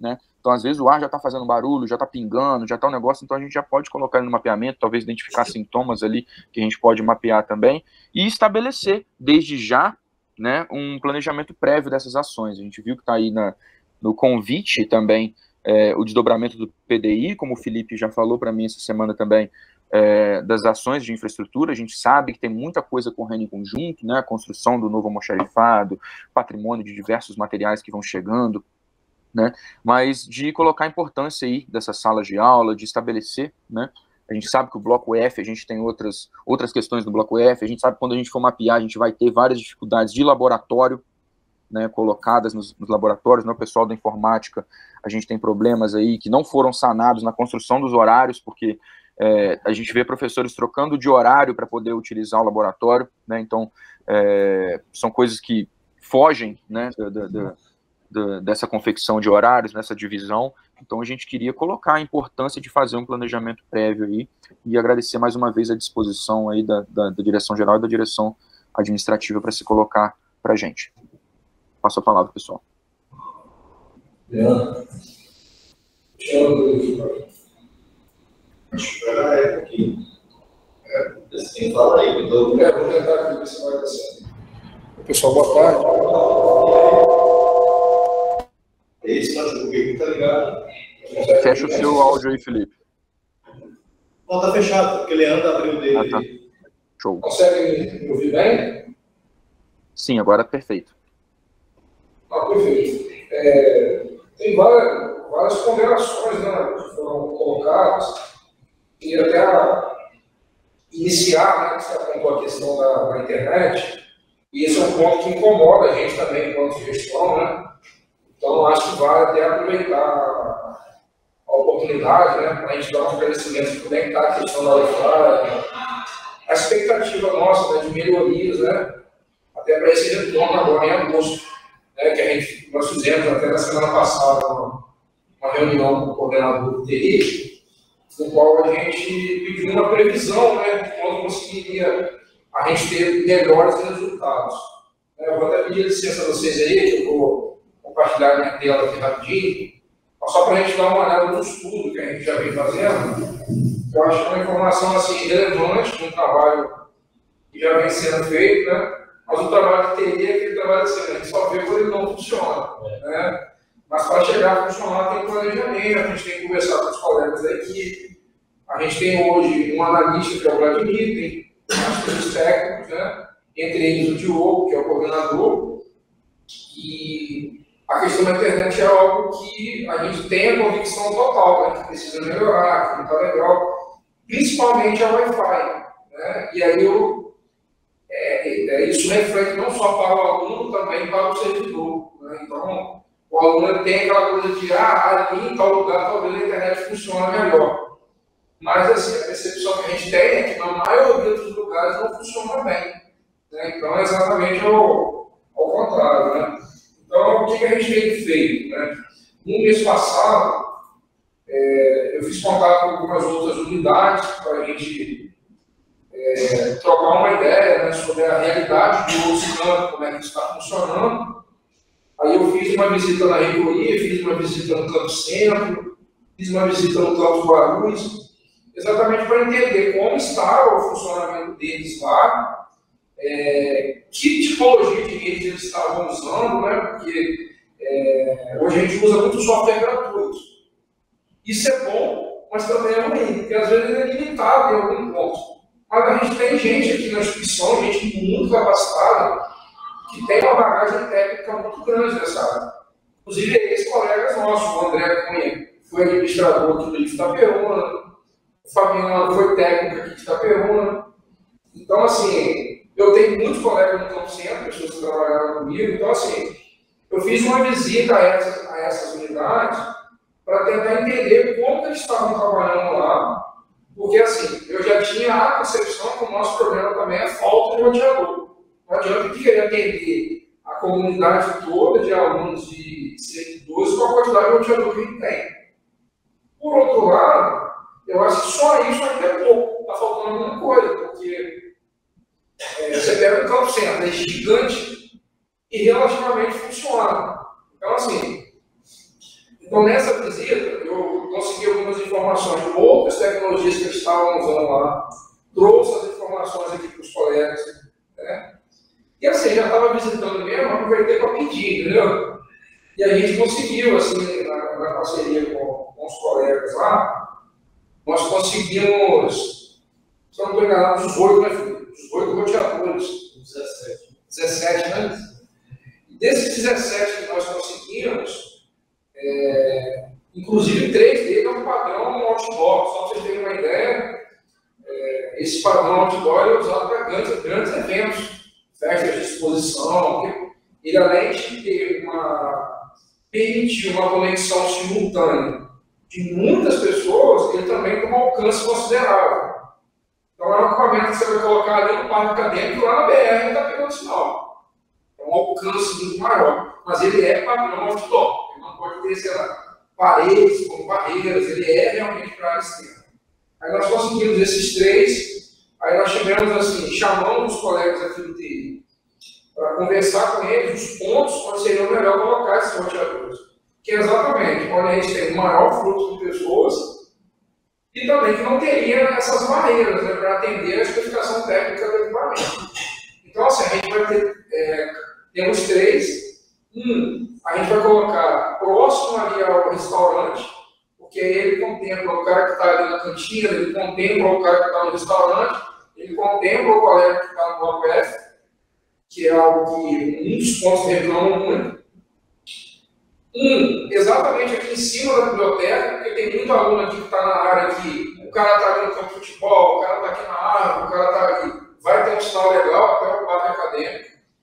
E, e esse terceiro, colocar lá no parque acadêmico, para poder atender as salas e também os ambientes que estão ali. Porém, como eu havia dito, são 17 aparelhos. Então, tirei 13, é, 3 ainda tem 14. Aí nós fizemos esse mapeamento que está na tela. Está é, tá todo mundo conseguindo ver, pessoal, esse, essa telinha aí? Sim, Aqui sim. É, esse, Oi? Não, eu disse que sim, claramente. Ah, obrigado, obrigado. É, esse primeiro aí, por exemplo, é o parque acadêmico. Tá vendo? Então, é, nós fizemos lá, esse é um software que faz essa análise e é um mapa de calor onde o sinal chega e não chega. As adversidades que a gente vem? Então, você pega esse aí, por exemplo, o mapa acadêmico, a ideia é a gente ter sete roteadores lá. É, um já existe lá próximo, que é na sala dos professores ali, a gente já tem um. Nem contei, Veloso, aquele que está na sua sala, não, tá? Todos os demais são esses. Então, beleza. Tô vendo. Não, tô vendo que ela não tá ali. é, são seis vagas ali, né? Seis roteadores. Esse central é o padrão outdoor que eu falei, para poder pegar um, uma área bacana ali. Então aqui a gente tem o quarto. Esse outro que está aí na tela é aqui da, da administração. Né? Então, olhando aí rapidamente, você tem um ali perto da recepção, você tem um é, próximo à entrada da biblioteca. Né? Então aqui seria, seria um quarto, aqui nosso Teria um lá em cima também no, no auditório, que é uma diversidade que a gente tem, a gente chega um visitante, chega alguém com uma palestra, uma coisa, uma escola técnica tem uma internet ali de qualidade para o visitante. Então a gente precisa ter um olhar de melhoria mesmo. Então, esse aí é o bloco A. Vou para o bloco B, que é um grande problema, porque a grande aglomeração de aulas é ali, a grande concentração de alunos é ali, e a grande demanda do professor na sala de aula é ali. Além do corredor administrativo, né, que ele pega ali do TI até o final lá na sala de convivência, na direção do ensino, ali deixa muito a desejar. Aí o que a gente vai fazer? Todos esses roteadores que a gente tem, esses redondinhos que tem aí, nos demais blocos, a tendência é melhorar, porque nós vamos colocar uma quantidade grande de um outro modelo.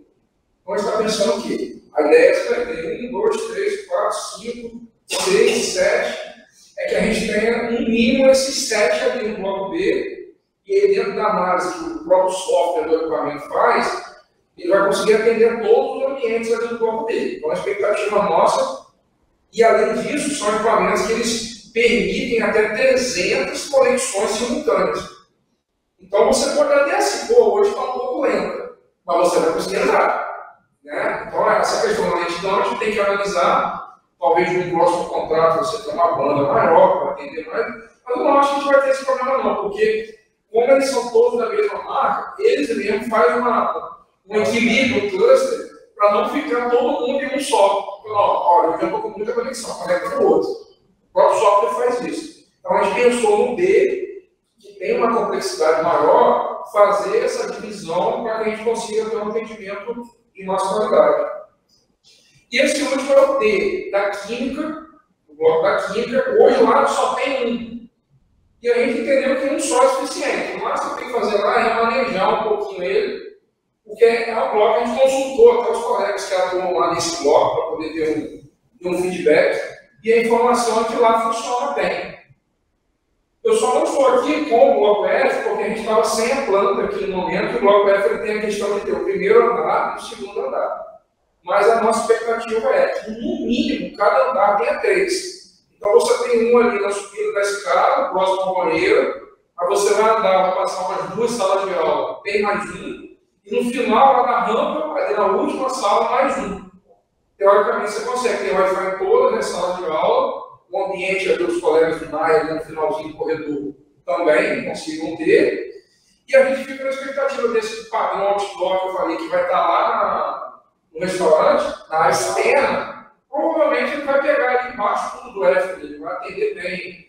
Então, assim, com relação ao Wi-Fi, que eu concordo plenamente que é algo que a gente tem que avançar, existe um trabalho em andamento, os equipamentos já vieram, já chegaram, eles já estão na TI, né? Por exemplo, o quarto acadêmico, nós já vamos iniciar lá para colocar no lugar, fazer uma ligação elétrica correta, passar o cabo de dados para definir um sinal melhor. Então, assim, a expectativa nossa é que no mês que vem, quando, quando você for retornar, quando voltar a esse equipamento já esteve até em, em, operação, e a gente agora tem o feedback de vocês. Então, pô, está funcionando, conseguindo, não conseguindo. Eu já estou fazendo isso, tá? Porque como eu já sei que está sendo feito, quando eu vejo que em algum lugar que ele já iniciava o trabalho, mas tem uma pequena falha, eu já aponto, ó, fui no bloco tal, pô, ela tá conectando legal, mas pô, tá caindo, ficou. Eles vão lá ver um log lá, pô, a gente viu que era um IP duplicado, era uma banda configurando e tal. Então, assim, é um trabalho de aprimoramento, mas que a gente tem uma expectativa muito boa de que a gente vai ter melhoria nos próximos meses.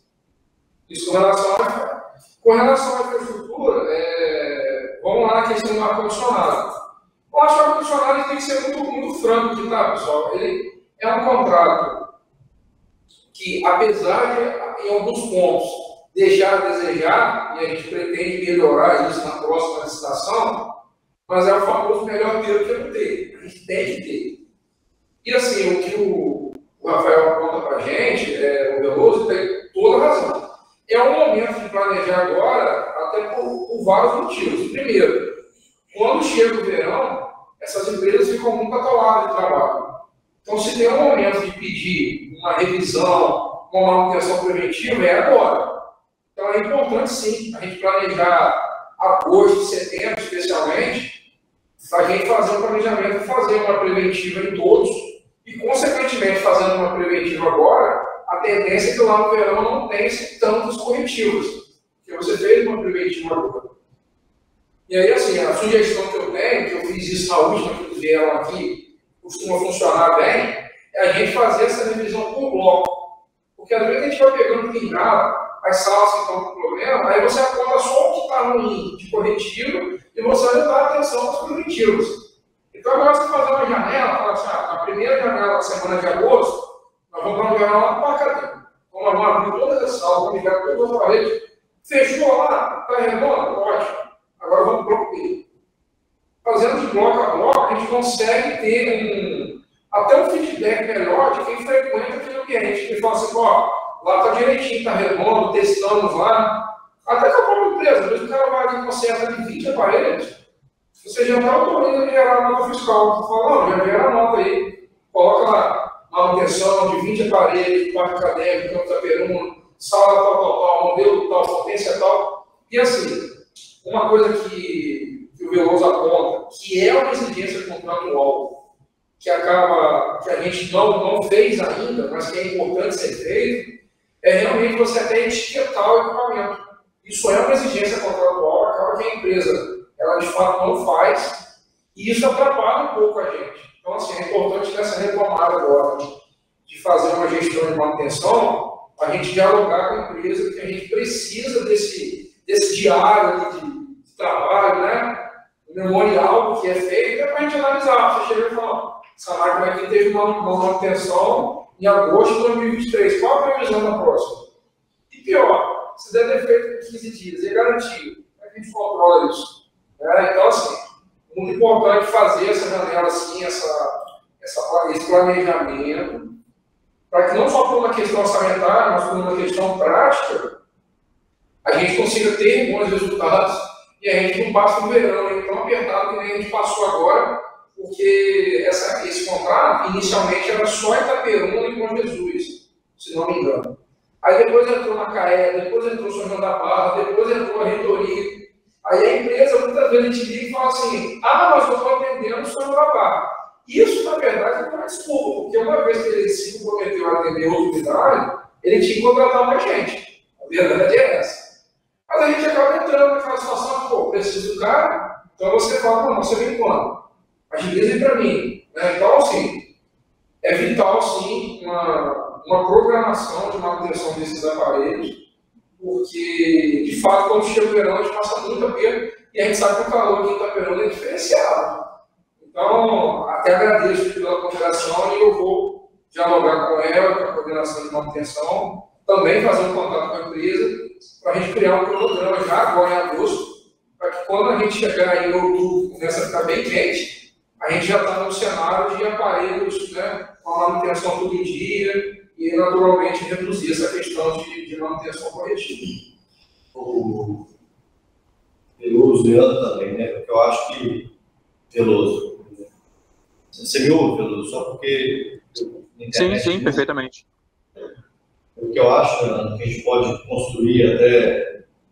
Vai se somar um pouco a fala que eu vou apresentar ainda hoje, Veloso, é que desse plano diretor, e aí é o que eu acho que uma questão que eu quero conduzir com o Leandro, né, é que desse plano diretor de infraestrutura a gente consiga ter também uma política de manutenção preventiva no campus. Né? Eu acho que hoje, Veloso, é, falta a gente ter um pouco disso de forma mais frequente, assim como canais facilitadores desse apontamento pelos servidores, entendeu? Então, tem uma, uma outra questão né, que a gente está para implementar também, que é uma ferramenta também, um número de WhatsApp, né, para reporte mais rápido de demandas de manutenção de infraestrutura, né, para que todo servidor possa, um canal mais fácil, fazer esses apontamentos, além de a gente ter um plano de rotina, entendeu, Carlos? Então, em cada sala, em cada sala tem que ter um checklist, talvez, só que assim, eu vou falar com os meninos aqui, né? A gente às vezes coloca as coisas na sala de aula, mas eu sei que é difícil, é um trabalho pedagógico e educacional, né? Por exemplo, botando lá o calendário de provas. Né? Tem um monte de coisas escritas aqui no calendário de prova, né? e até sobrepondo as anotações dos professores. Então, quando a gente coloca lá no checklist de manutenção, para contar se a luz está ok e tal, eu sei que a gente vai passar por isso também, então depois a gente vai precisar de ajuda também para esse trabalho né, de comunicação dos estudantes. Ó, pessoal, está botando ali um formulário de rotina de manutenção, vamos tentar manter em dia, porque é para a gente mesmo, né, para o técnico da manutenção passar conseguir verificar se tem alguma coisa que não está funcionando adequadamente na minha sala, no meu espaço. Mas, eu, Luz, eu acho que o compromisso que eu, e se você concorda, sabe, acho que o encaminhamento que a gente podia tirar aqui era que, a partir né, do plano diretor de infraestrutura, a gente pudesse, junto com a coordenação de manutenção, estabelecer uma política de manutenção preventiva para a infraestrutura básica.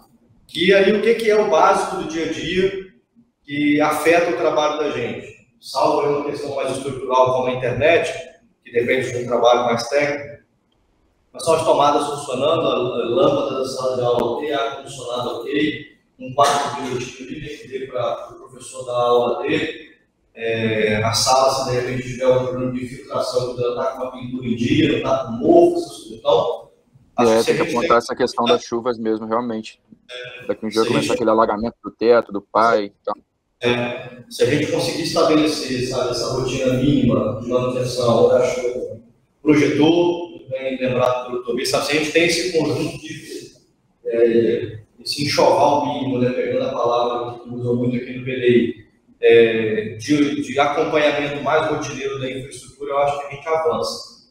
Então, eu queria até deixar, Gil, né, como ponto de registro na pauta aí, para uma vez a gente aprovando o plano diretor, que a gente possa voltar no Conselho, numa próxima reunião ordinária, pensando em trazer uma minuta de um plano de manutenção preventiva, uma rotina, alguma coisa que a equipe de manutenção vai passar a fazer de forma mais rotineira, entendeu? É, para essa estrutura mínima de bom funcionamento desse aula. Que, consequentemente, vira uma ação nossa lá do plano, no plano de ação da aula, avaliação institucional também. Ok, Veloso? O que, você acha? Não, perfeito encaminhamento. Agradeço plenamente aí. Ótimo. Da internet a gente espera esse retorno também. É, só para complementar mesmo, porque a gente tem uma pauta, uma pauta maior ainda, né? Mas, assim, deixar claro é, a nossa preocupação com a qualidade da sala de aula. Né? A gente tem, eu tenho visitado muito a sala de aula, tenho ido até depois que todo mundo vai embora, 10 horas, ninguém mesmo, que eu sei que não vai atrapalhar ninguém.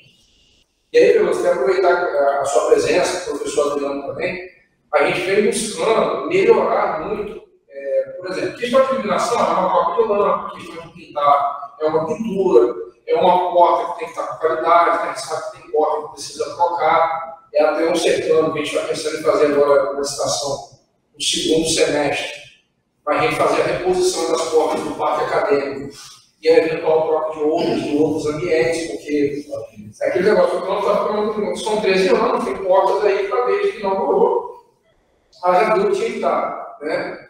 Mas, assim, em função da necessidade, da, do formato que é a administração pública, não é aquela coisa que você troca imediatamente, você tem que fazer um planejamento. As fotos, por exemplo, é um ponto assim, vital, né? a gente precisa melhorar. Então, assim, parte acadêmica em especial, iluminação das salas, né? algo que a gente precisa avançar. Mas o ponto que eu queria chegar é o seguinte: é, a gente já está dando já uma melhorada na questão dos projetores. Mas, assim, uma coisa importante, que eu acho que vocês vão concordar comigo, é que Hoje, qualquer pessoa que for comprar um notebook, ele vai vir com a porta HDMI. Dificilmente ele vai vir com aquela outra porta, aquela VGA antiga. Então, assim, nós vamos aproveitar agora esses 15 dias que não vão ter aula, e no mínimo 16 salas, elas vão estar todas com a ligação HDMI. Eu já comprei uns conectores, a gente já testou. Já tem uma sala assim lá no bloco F, eu já fiz um teste ali no bloco B. Então, assim, a gente tem expectativa de todas as salas do bloco B e todas do F, por exemplo, e talvez alguma até do quarto. Mas o que, que eu queria pedir a vocês? Nessa retomada, até os alunos também, olhou ali, está com esse cabo, formato HDMI, botou, funcionou. Eu fiz um teste numa sala, ficou muito bom. Pra você ter uma ideia, você consegue jogar o som com o projetor. Eu nem sabia que os projetores tinham alto-falante, para falar a verdade. Sim. Então você joga um som, uma música, um vídeo, uma, uma questão pedagógica ali. E muitas vezes o, o som do projetor atenderia a sala, a gente não usou. Então, assim, a gente vai avançar nisso também. Quando retornar né, lá em agosto, isso vai estar tudo instalado. Mas para a gente que está aqui na ponta, é muito importante o, o feedback de quem está lá. né, o professor, os alunos, falar assim, pô, ficou legal, pô, ficou bom, a gente testou, pô, tivemos uma aula top, né? Porque muitas vezes a qualidade da imagem do aluno, Tá, isso faz parte da isso não é um negócio. Vamos lá, vamos. Pessoal, eu até interrompi o Leandro aqui, porque a gente está chegando perto do final da, da reunião e, e, o assunto ainda é assunto de infraestrutura também. É, mas a gente volta. Né? Ah, tá bom. Primeiro plano diretor de infraestrutura e né, nesse tema. É, a, gente tem, a gente tem uma. É, Diogo, você está com a mão levantada? Desculpa, cara, não vi. Por favor.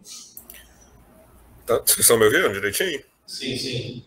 É, não, é só para complementar essa parte, por exemplo, que o Leandro falou da rede, eu estava esperando terminar, mas foi se estendendo muito. É, essa parte, por exemplo, da, da, os problemas que a gente está tendo hoje com o Wi-Fi, eles são decorrentes do quê? Da quantidade de dispositivos ligados, só que as redes elas não são interconectadas. Embora todo mundo tenha essa, esse, esse mesmo nome de rede, rede IF e FF, é, eu percebi que o que está acontecendo? Esses aparelhos, um está interferindo na, no sinal do outro. Por conta disso, quando chega num determinado horário, horário de pico, alguma coisa assim, começa a dar problema para tudo de uma vez. Começou a parar tudo. A, a, a, começou a interferir, inclusive, na rede WIF. Entendeu? Então, assim, na próxima reunião, seria bom também que a gente discutisse também um procedimento para adição de roteadores aí caso a gente vá continuar adicionando roteador pessoal, né, o roteador pessoal das pessoas. O pessoal está trazendo roteador de casa, não está informando para a TI, entendeu? Está plugando por aí e isso vai causar interferência. A gente já vai ter três, três linhas né, diferentes, porque, por exemplo, esses roteadores da Unify, que são os mais profissionais, o Leandro falou que aguenta 300 usuários, é, esses outdoors que a gente pegou, eles utilizam uma controladora diferente dos mais novos. Então, quer dizer, nós vamos ter já duas redes WIFI. E os roteadores é, é, residenciais, que a gente vai instalar um firmware customizado, eles vão pertencer a outra rede, eles não vão se falar. Né? Então, assim, já vai haver essa interferência de um no outro. Né? Pode ser que, que, que na transição entre, entre um roteador de uma rede e um roteador de outra rede, a gente tenha é, é, talvez uns probleminhas. Né? Isso aí a gente tem que testar primeiro para ver. Mas é muito, com certeza, assim, a forma como a gente vai fazer agora vai ser muito melhor do que a gente tem hoje. Hoje a gente tem, vai, você pega num bloco, você tem 10 redes diferentes. Hoje a gente vai ter no máximo 3. Então já vai dar uma melhora muito grande. Né? E esses, esses roteadores aí, de, esses, mesmo que sejam residenciais, eles vão trabalhar em conjunto por exemplo, no Pai aí, vão ter seis roteadores deles, sete na verdade. Todos eles vão pertencer à mesma infraestrutura, vai ficar muito fácil, muito tranquilo de trabalhar, eles vão, eles vão conhecer um ao outro. Se passar, se você sair de uma, de uma área, passar para outra, vai funcionar normal. Entendeu? Só para gente, só a gente definir é, mesmo o que, que a gente vai fazer, né? É, caso, por exemplo, ah, um servidor traga o roteador dele, coloque lá, entendeu? Só para ele e tal, e comece a interferir na infraestrutura da escola, entendeu? A gente tem que definir o que, que a gente vai fazer, se, se vai permitir, se vai travar, o que, que vai acontecer, como é que nós vamos, como é que nós vamos proceder. Mas conduz, a gente até conduz isso internamente também, tá? Eu, vou, eu vou pedir aqui uma, uma, uma mudança na ordem do dia, porque a gente tem uma pauta aqui da pergunta entre duas servidoras, eu acho que é algo que impacta bastante a vida funcional delas. E aí, a gente está tendo a reunião, eu queria pedir a antecipação desse ponto de pauta, porque os outros dois são pontos mais extensos, acho que dificilmente a gente consegue tratar é, dentro da mesma reunião hoje. Então, eu queria né, tratar da pergunta entre as servidoras Angélica, Brito e Ganso, né, do Campo Fado, Mariana Borges Silva, né, do Campos Taperuna. A Gilmar está com os processos abertos ali, é, caso alguém tenha alguma dúvida, mas né, de forma semelhante ao que, ao que foi tratado aqui na última reunião, então acredito que já haja aí um entendimento né, de jurisprudência dentro do próprio conselho, se assim pode dizer, mas eu vou aqui colocar a questão, né, a servidora Angélica, ela é uma servidora lá do campus Pado, e ela é uma servidora de nível C, também de um cargo extinto né, pelo, pelo governo aí, na época, no final do governo Temer e do governo Bolsonaro. É, e a Mariana, ela é uma servidora nova, aqui do campus, ela é uma servidora nível D, servidora nível D, é, recém, recém possada. Né? Ela está ocupando agora a vaga que era do Betinho, né? nível D. É, servidoras têm cargos diferentes, uma é assistente de administração e a outra é auxiliar de biblioteca, e fazem aí o, o pleito pela permuta. A Mariana mora em Pádua e a Angélica mora em Itaperuna e trabalham em unidades né, nas cidades diferentes. Então, da mesma forma como foi trago aqui pelo, Conselho, na, essa permuta ela já foi publicizada também. Diferentemente da permuta anterior, que eu passei primeiro pelo Conselho, essa daí já passou pelo rito de estar publicada lá no portal de mobilidade. E não houve contestação de outro servidor querendo participar da permuta. Então, estou trazendo para cá para a deliberação do Conselho sobre a, a autorização para essa pergunta ocorra, né? E a palavra está tá franqueada para quem queira falar. Veloso.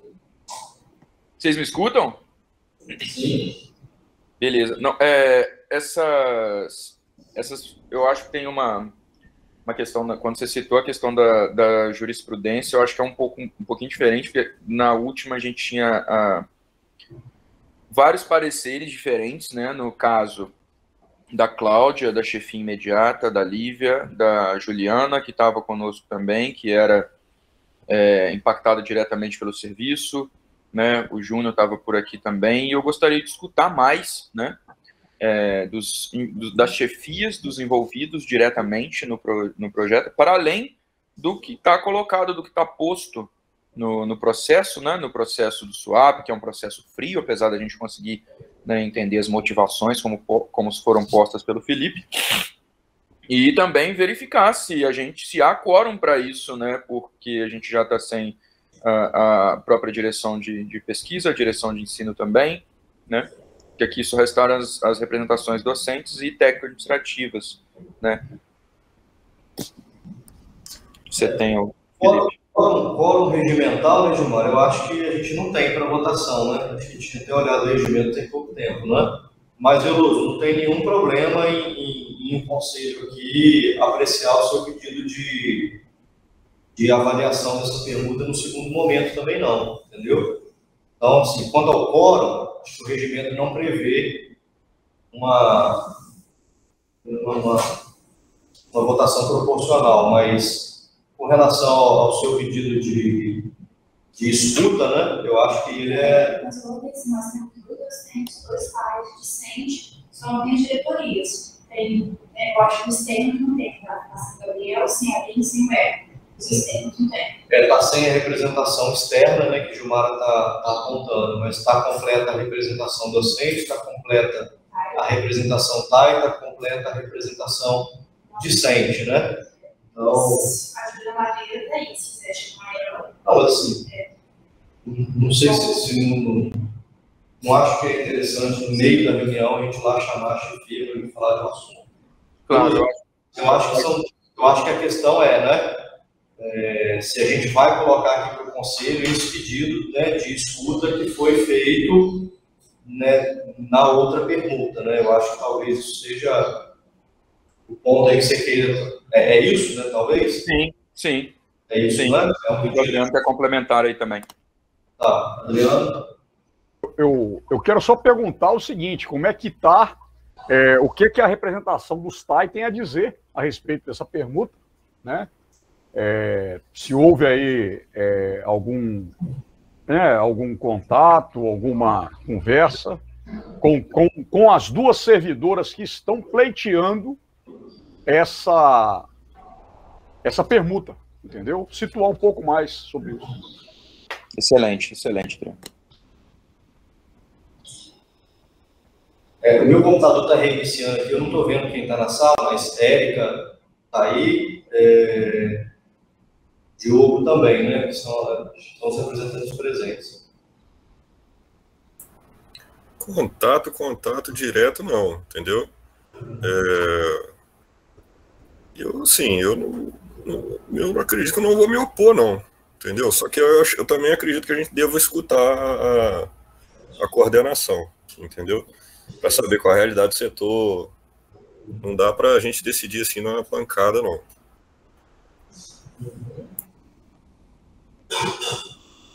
É, o Taília falou, Érica, está presente ainda?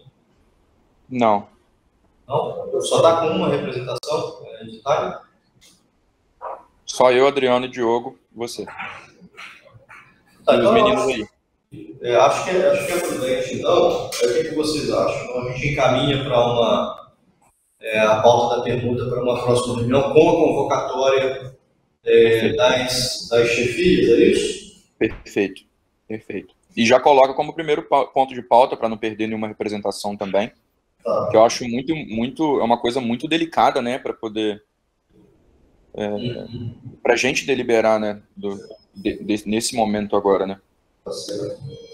Colegas, deixa eu aproveitar, então, que o Rafael Veloso chamou atenção para essa questão, até mesmo com relação à condução dos outros pontos de pauta. A gente, de fato, está com uma reunião que, que temas importantes foram discutidos, mas a gente ainda tem conhecimentos né, é, para serem aí apreciados e que eu acho que demandam uma participação mais efetiva. É, vocês, é, a gente tem aqui é ainda uma minuta da regulamentação disciplinar decente, mas essa minuta eu já ia pedir uma prorrogação para uma outra reunião, porque o Pablo né, foi o colega consultor jurídico da, da gente na leitura e na colocação de algumas observações, que eu acho que ela deveria passar de novo. Aí o Adriano está na comissão, comigo também, Adriano. Eu acho que depois da leitura do Pablo, ela deveria passar de novo pela comissão. O Pablo foi convidado para estar aqui hoje para a gente fazer isso junto mas ele precisou sair para uma consulta médica. Né? E aí ele não está por aqui para poder dar esse apoio ao Conselho de Campos hoje. Então, a minuto, eu já ia sugerir que a gente fizesse uma reunião com a comissão disciplinar, com a presença do Pablo, para a gente fazer as aparas do texto e trazer de volta para cá. Mas a gente tem outras duas pautas que são pautas que são longas, que é a prestação de contas e a aprovação do orçamento e a própria minuta do plano diretor de infraestrutura. É, a gente está naquela condição, é, faltam 20 minutos apenas para o término do tempo regimental da reunião, a gente não vai conseguir tratar bem esses documentos. Então, eu acho que eu queria propor, se vocês concordarem, que a gente tratar então a permuta, pedido do, do Rafael Veloso, e os outros dois textos, né, os outros um, dois, são três, são dois textos e uma apresentação é, numa reunião é, em agosto após a, o retorno das férias. A gente não fez nenhuma reunião extraordinária esse ano, pensamos em fazer, mas né, conseguimos conduzir com replanejamento apenas as reuniões ordinárias, mas a gente poderia né, planejar aqui uma reunião para, para o retorno das férias, né, uma reunião extraordinária para o retorno das férias. A gente tem ali, talvez, o, o voto do dia, dia 6 ou dia 13 de agosto, poderia pensar ali, talvez na primeira semana, ali, dia, dia 6 de agosto, tudo bem? Que que Já sabe? começa com. Ah, ai, não, não foi errado aqui, peraí, tá, Júlio, desculpa. Dia, dia 10. Dia 10. Dia 10 vai ter salto o dia inteiro aí no Cine Teatro. Eu acho que o Miguel vai estar envolvido também, eu também, e outros professores também. É, é, pouca coisa o salto, né? Então, É, a gente pode votar então na volta mesmo, dia 3, tudo bem? Ok. Deixa eu antecipar um pouquinho. Aí, aí, já começa com quatro pautas, né? A permuta, o regulamento disciplinar, a prestação é, de contas e o plano de infraestrutura. E aí, Rafael, eu vou até sugerir que nessa extraordinária, pelo menos eu não estou me lembrando de nada mais urgente, a gente faça um tratamento desses assuntos, entendeu? É, não, é isso que eu imaginei. Já começar é, com a. Vier, exato, e aquilo que vier de assuntos novos, fica para virar ordinário. Ordinária do meio de setembro, entendeu? no mês de setembro extraordinário, e a gente não faz aí o acréscimo de novos pontos de pauta, porque é uma reunião extraordinária é para tratar exclusivamente desses pontos ainda não debatidos aqui. A não ser que pinte uma coisa muito emergencial, algo que venha da reitoria, né? e aí a gente faz a exceção. Mas tudo bem, então? A gente conduzir assim? De acordo. Adriano, Adriano que está aí presente, Diogo, Veloso, Nilson aqui. Ok, de acordo? Ok? De acordo. Por favor.